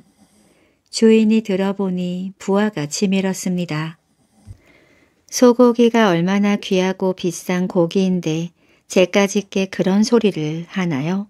아무리 부잣집이라도 끼니마다 소고기 반찬을 먹지는 못할 텐데 말입니다. 그래서 그럼 자네는 끼니마다 소고기를 먹는단 말인가? 하고 볼이 잔뜩 부어서 물었습니다. 그랬더니 이 총각이 눈썹도 까딱 안 하고 또 터무니없는 거짓말을 술술 내놓았습니다. 그렇지요. 우리 집에서는 썩어나가는 게 소고기랍니다. 어떻게 하느냐 하면요. 소를 기를 때 괴짝에다 넣어서 기르지요.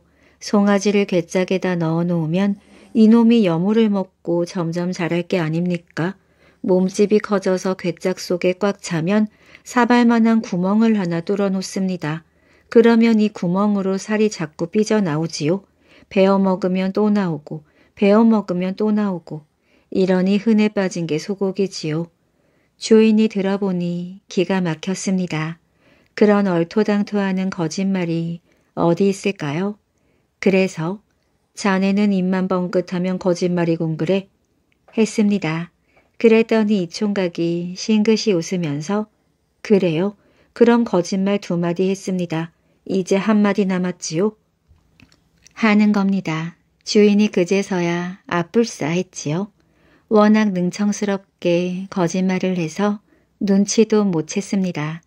그 사이에 벌써 두 번이나 멋지게 당한 것입니다. 속이 쓰리지만 어떻게 할 방법이 없었습니다. 이왕에 당한 것은 당한 것이고 이제부터는 절대로 안 넘어가야지 하고 주인이 아주 정신을 바짝 차렸습니다. 그러나마나 총각은 능글능글하게 웃으면서 또 거짓말을 늘어놓았어요. 잘 들으세요. 우리 집 뒷산에 돌부처가 하나 있고 그 옆에는 배나무가 한 그루 있습니다. 그런데 그놈의 배나무가 어찌나 높은지 타고 올라가자면 한나절도 더 걸리지요. 그래서 더 들어보세요. 저 같은 둔재가 그렇게 높은 곳에 어떻게 올라갑니까? 그래서 생각다 못해 긴 장대를 가지고 돌부처님 콧구멍을 살살 간지렸지요. 그랬더니 부처님이 애취하고 재채기를 하시지 않겠습니까? 그 재채기 바람이 얼마나 센지 배나무에 열린 배가 모두 와르르 떨어졌어요. 그걸 주워 보니 모두 스물다섯 접이나 됐습니다. 그런데 잠깐 기다리세요. 그때 주운 배 스물다섯 접을 이 집에서 사가지 않았습니까? 한 접에 백냥씩 2,500냥어치를 외상으로 사가시면서 올해 벼 마당질할 때 이자까지 붙여서 3천냥을 주시기로 하셨지요. 제가 오늘 그 돈을 받으러 왔으니 어서 주십시오. 주인이 듣고 보니 큰일이 났습니다. 그게 거짓말이 아니라고 했다가는 당장 돈 3천냥을 내놓아야 할 판이었어요. 오도 가도 못하고 꼼짝없이 걸려든 겁니다. 그런 터무니없는 거짓말이 어디 있나? 하고 말을 하고 말았습니다. 그러니까 총각은 빙글빙글 웃으면서 이제 거짓말 세 마디 다 했습니다. 장인어른 했답니다. 오수의 개 옛날 고려 때 거령현이라는 곳에 김개인이라는 선비가 살았습니다. 거령현은 지금의 전라북도 임실군 지사면 영천리 일대를 말합니다.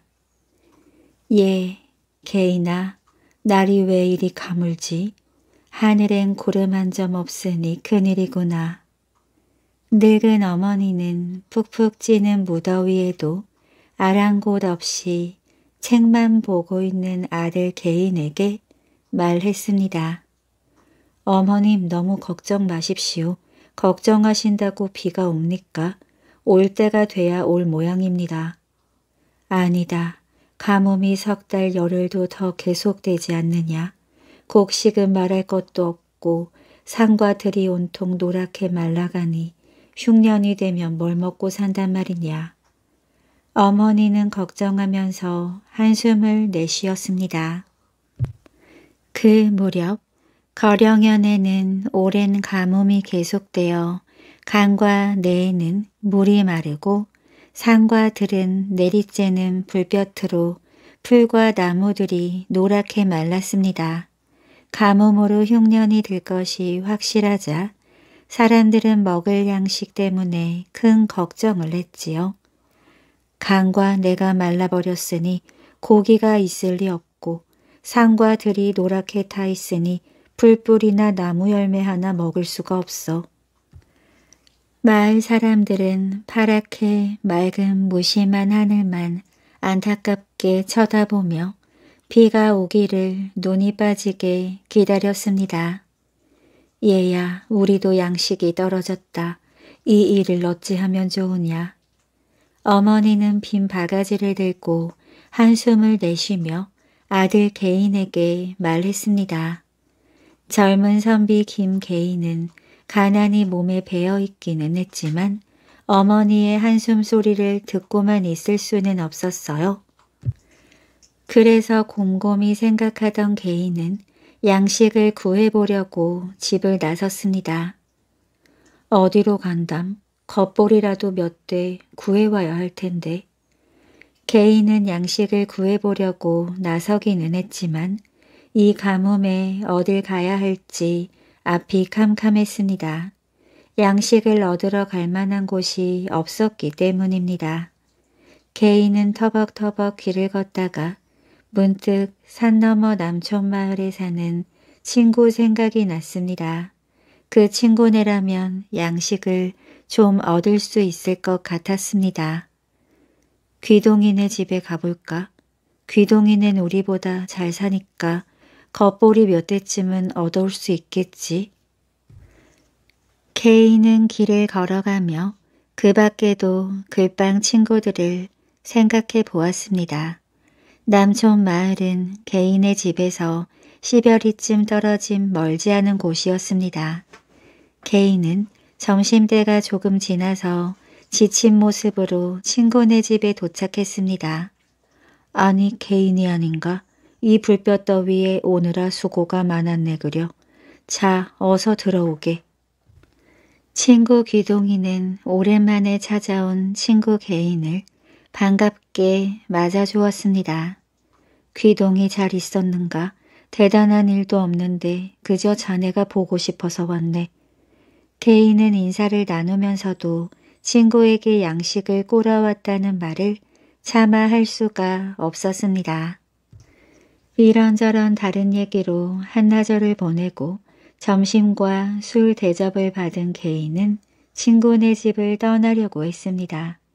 그러나 집에 홀로 계시는 어머니의 모습이 자꾸만 떠올라 빈손으로 돌아갈 수가 없었습니다. 개인은 어떻게 해야 할지 몰라 안절부절 못하고 있었지요. 개인이 석 달이 넘는 가뭄에다 흉년까지 겹쳤는데 양식 걱정은 없는가? 뜻밖에도 친구는 개인의 마음을 읽기라도 한 듯 가뭄과 양식 이야기를 꺼냈습니다. 개인은 이 말을 하고 싶었지만 좀처럼 입을 뗄 용기가 나지 않았어요. 비록 허물없이 지내는 친구 사이지만 양식을 구워달라고 하기가 어려웠던 것입니다. 말없이 잠자코 있는 개인을 보고 친구는 다시 말을 이었습니다. 말이 없는 걸 보니 양식이 떨어진 모양이지. 이 가뭄과 흉년에 양식이 넉넉한 집이 얼마나 되겠는가. 우리 집에도 양식이 거의 바닥났지만 아직은 조금 있으니 우리 서로 나누어 먹세. 그러면서 친구는 개인에게 좁쌀 한 대와 보리쌀 한 대를 싸주었습니다. 고맙네 귀동이 내 올 가을엔 꼭 갚겠네. 양식을 받아든 개인은 친구에게 고맙다는 인사를 하고 집으로 향했습니다. 그런데 개인이 집을 반쯤 남겨놓고 가고 있을 때 산길 아래 풀숲에서 웬 강아지 울음소리가 들려왔습니다. 이글거리던 해는 어느새 서산 너머로 얼굴을 감추었고 서쪽 하늘에는 유달리 빨간 노을꽃이 넓게 퍼져 있었습니다. 풀숲에서 울어대는 강아지의 울음소리는 슬픈 비명소리 같았습니다. 개인은 가던 걸음을 멈추고 강아지의 울음소리에 귀를 기울였지요. 강아지의 울음소리는 개인의 귀에 살려달라는 소리로 들렸습니다. 개인은 더 이상 망설일 수 없어서 길 아래로 내려가 풀숲을 헤쳤습니다. 풀숲에는 태어난 지 얼마 안 되어 보이는 강아지 한 마리가 울고 있었어요. 가엾기도 해라. 어린 강아지를 누가 이런 곳에 버렸을까? 개인은 불쌍한 강아지를 그대로 버려두고 갈 수가 없었습니다. 강아지를 품에 안고 집으로 오면서 개인은 생각에 잠겼어요. 그래, 개가 새끼를 낳았는데 흉년에 먹여 살리기 힘들어서 강아지를 버렸을 거야. 하긴 개도 사람과 똑같이 먹으니까 말이야. 사람 먹을 것도 없는데 어찌 개를 먹여 살리려 하겠나. 흉년이 되지. 개인은 어둠이 깃들 무렵에야 집에 도착했습니다. 어머님, 남촌마을 친구한테서 좁쌀과 보리를 좀 꼬았습니다. 오냐, 고생이 많았겠구나. 그런데 얘야, 그게 뭐냐? 어머니는 개인이 안고 있는 강아지를 보고 물었습니다. 어머니, 누가 버렸는지 몰라도 집으로 오는 길가에서 울고 있기에 불쌍해서 데리고 왔습니다. 어머니는 사람 먹을 것도 없는데 강아지까지 데리고 왔다고 나무라지는 않았습니다. 이렇게 해서 강아지, 아니 누렁이는 개의 집에서 살게 되었습니다. 누렁아 밥 먹어라. 올해만 고생하면 내년 가을에는 굶거나 죽을 쑤어 먹지 않아도 될 거야. 개인은 누렁이를 무척 사랑하고 귀여워했습니다. 그리고 식구나 다름없이 먹을 것도 똑같이 나누어 먹였어요. 누렁이는 무럭무럭 잘 컸습니다. 누렁이는 주인 개인에게 감사하다는 듯 꼬리를 치며 끙끙거렸습니다. 누렁이는 개인을 늘 그림자처럼 따라다녔어요. 개인이 산으로 가면 누렁이도 산으로 갔고 들로 가면 들로 따라 나갔습니다. 개인도 누렁이를 집에 두고 어디 혼자 갈 때면 어쩐지 허전한 생각이 들었습니다. 개인이 방에서 잠을 잘 때면 누렁이는 대돌 위에 놓인 개인의 신을 베고 잤습니다. 개인은 누렁이가 졸랑졸랑 따라다니는 것을 귀찮아하지 않고 어디든지 데리고 다녔습니다. 여복의 개인이 거 개 좀 떼놓고 다닐 수 없나? 애들처럼 개를 꽁무니에 달고 다니니 어디 쓰겠나? 친구들은 개인에게 핀잔을 주듯 말했습니다. 그러면 개인은 껄껄 웃으면서 대답했지요. 개라고는 하지만 나를 좋아해서 따라다니는 것을 어찌 매정하게 떼어놓고 다니겠나. 나 혼자 다니는 것보다 우리 누렁이와 함께 다니면 심심하지도 않고 마음이 든든해서 좋다네. 자네하고 개하고는 전생연분인가 보군. 친구들도 개인의 마음을 꺾지 못하고 웃어 넘겼습니다. 다정한 친구가 된 개인과 노렁이는 표정이나 행동만으로도 서로의 마음이나 생각을 알아챘습니다. 그들은 날이 가고 달이 바뀔수록 더욱더 가까워졌습니다. 노렁이가 개인의 집으로 온 지 3년째 되는 가을이었어요. 그동안 노렁이는 큰 개로 자랐습니다. 오늘이 남촌말 귀동이의 생일이구나. 내가 가지 않으면 섭섭해하겠지. 개인은 단정하게 옷을 차려입고 남촌 마을을 향해 집을 나섰습니다.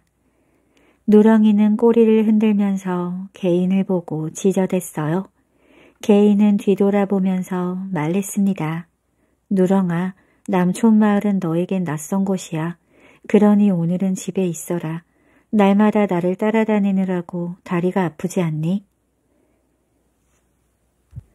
누렁이는 개인의 뒤를 따라오면서 지저댔습니다.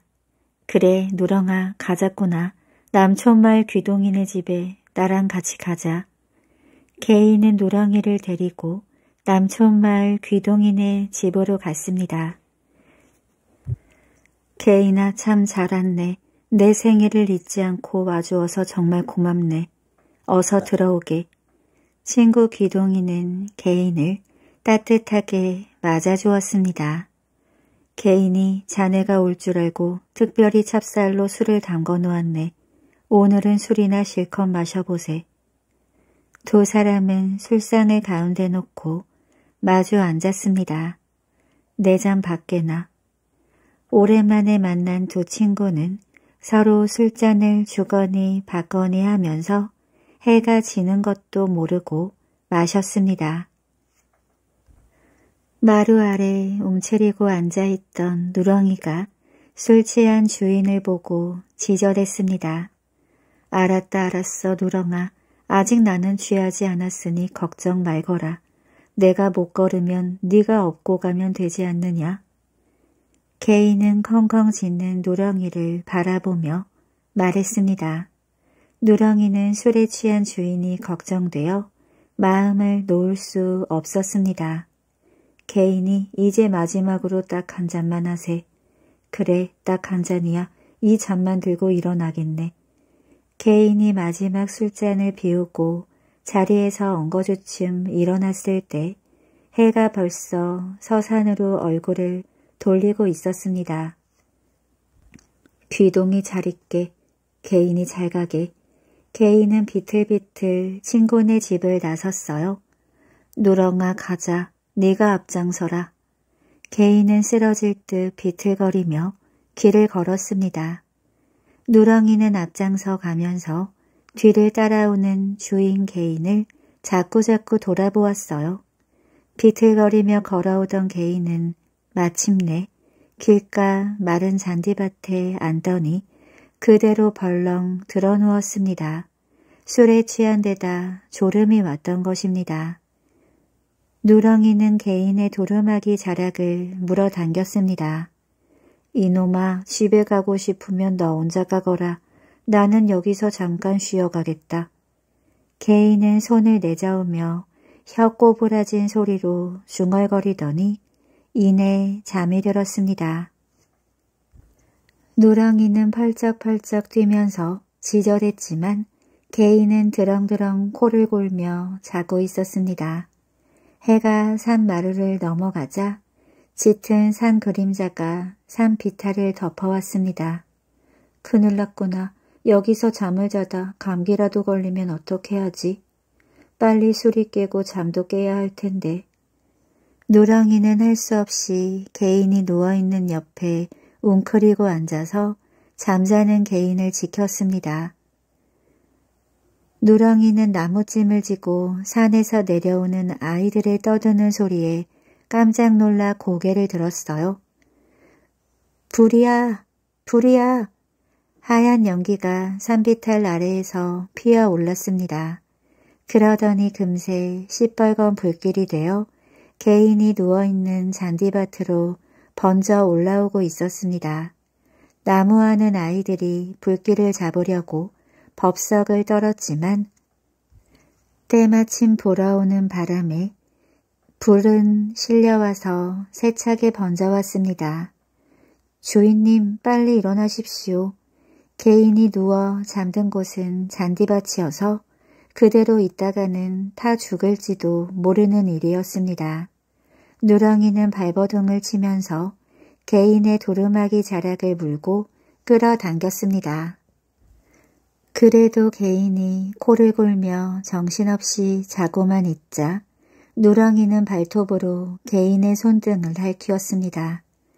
누렁이는 개인을 깨우려고 별별 짓을 다 했어요. 그러나 술에 취한 개인은 꿈쩍도 하지 않고 나무 토막처럼 쓰러져 자고만 있었습니다. 이윽고 등불은 개인이 누워있는 곳으로 점점 가까이 타오고 있었습니다. 누렁이는 사방을 두리번거리다가 가까이 있는 시냇물로 뛰어갔어요.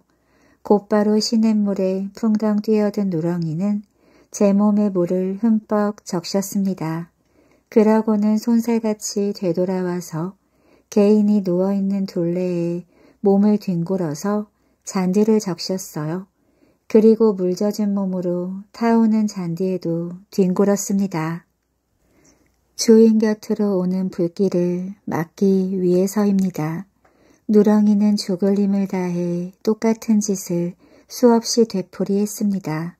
한참 만에 개인이 누워있는 둘레의 잔디는 소낙비를 맞은 것처럼 축축이 젖어 불이 붙지 않았습니다. 그때까지도 개인은 정신없이 잠만 자고 있었어요. 이윽고 들불은 노렁이가 적셔놓은 잔디만 남겨두고 다 타버렸습니다.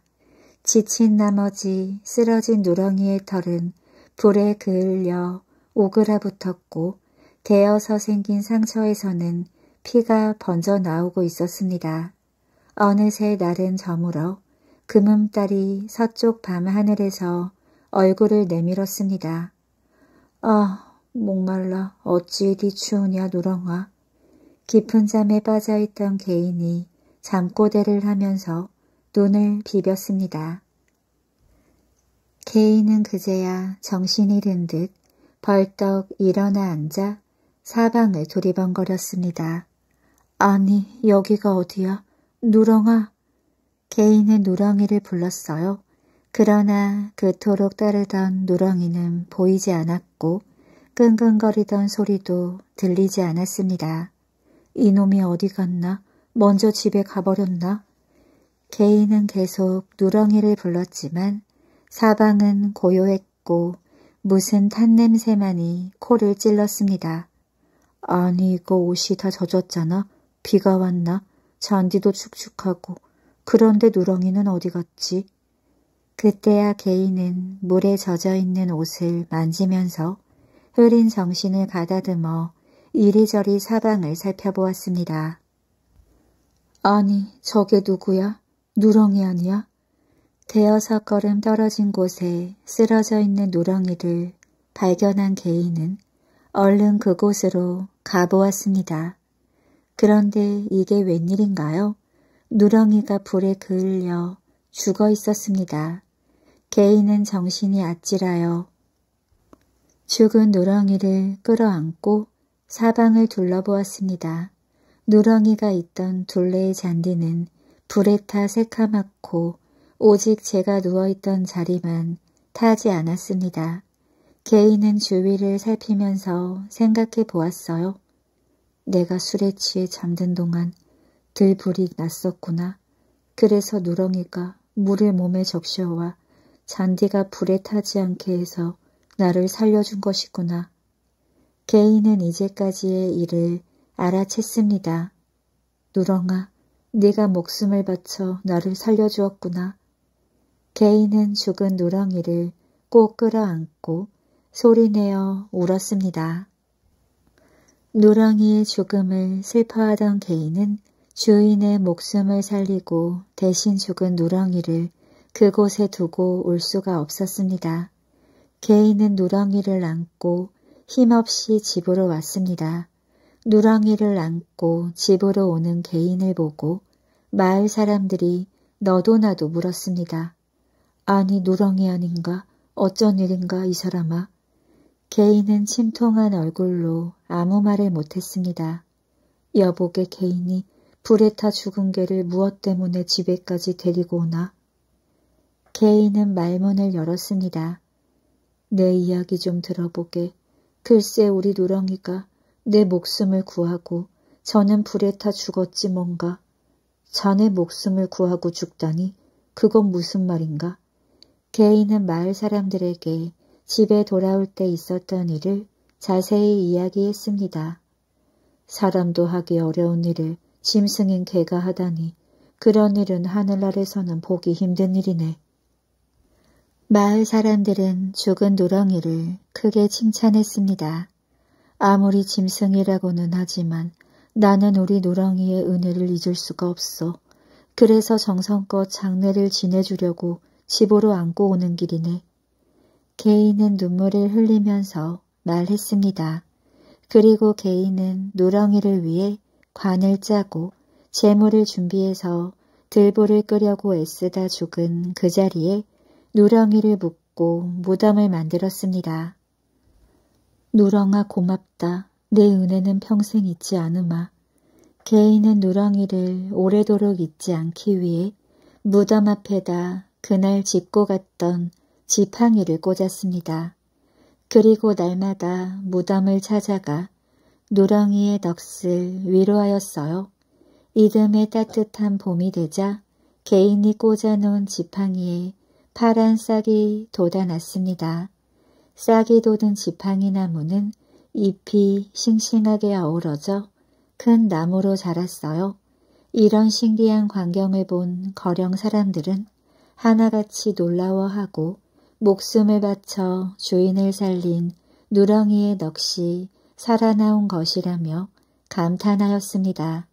그리고 이 놀랍고 신기한 일을 그대로 보고만 넘길 수는 없었습니다. 여기에 걸맞는 일을 해야 한다고 마을 사람들은 생각했지요. 그래서 마을 사람들은 한자리에 모여 의로운 죽음을 한 누렁이를 기리는 일이 무엇인지 의논하였습니다. 의논 끝에 거령이라는 마을 이름을 개오의 오자와 나무수의 소자를 따서 오수 마을이라고 고치기로 했습니다. 그리고 노랑이의 무덤을 오수의 개 무덤이라고 부르기로 했습니다. 세월이 흐름에 따라 오수의 개 무덤에 얽힌 그 감동 어린 이야기는 널리 널리 다른 지방에까지 알려졌습니다. 그리고 무덤 앞에 꽂았던 지팡이 나무도 큰 나무로 크고 또 몇 그루로 그 수도 늘어났습니다. 그와 아울러서 마을도 집이 늘고 인구도 불어났지요. 얼마나 세월이 흐른 뒤였습니다. 오수 마을에서는 뜻을 모아 오수의 개 무덤 옆에 누렁이를 기리는 의견비를 세우고 누렁이의 모습을 새긴 의견상도 만들어 세웠답니다. 오늘도 이야기 재미있게 잘 들으셨나요? 오수의 개 이야기는 동물이 사람의 목숨을 구한 대표적인 이야기입니다. 이 이야기는 고려 때 학자 최자가 쓴 보한집에 기록되어 있습니다. 그리고 의견비는 전라북도 지방 민속자료 제1호로 지정되어 있다고 합니다. 어렸을 때 오수에게 이야기를 처음 듣고 지금까지도 그 감동이 그대로 남아있을 정도로 감동을 받았던 기억이 납니다. 오늘도 감동을 주는 옛날 이야기와 함께 편안한 잠자리 되시기를 바랍니다.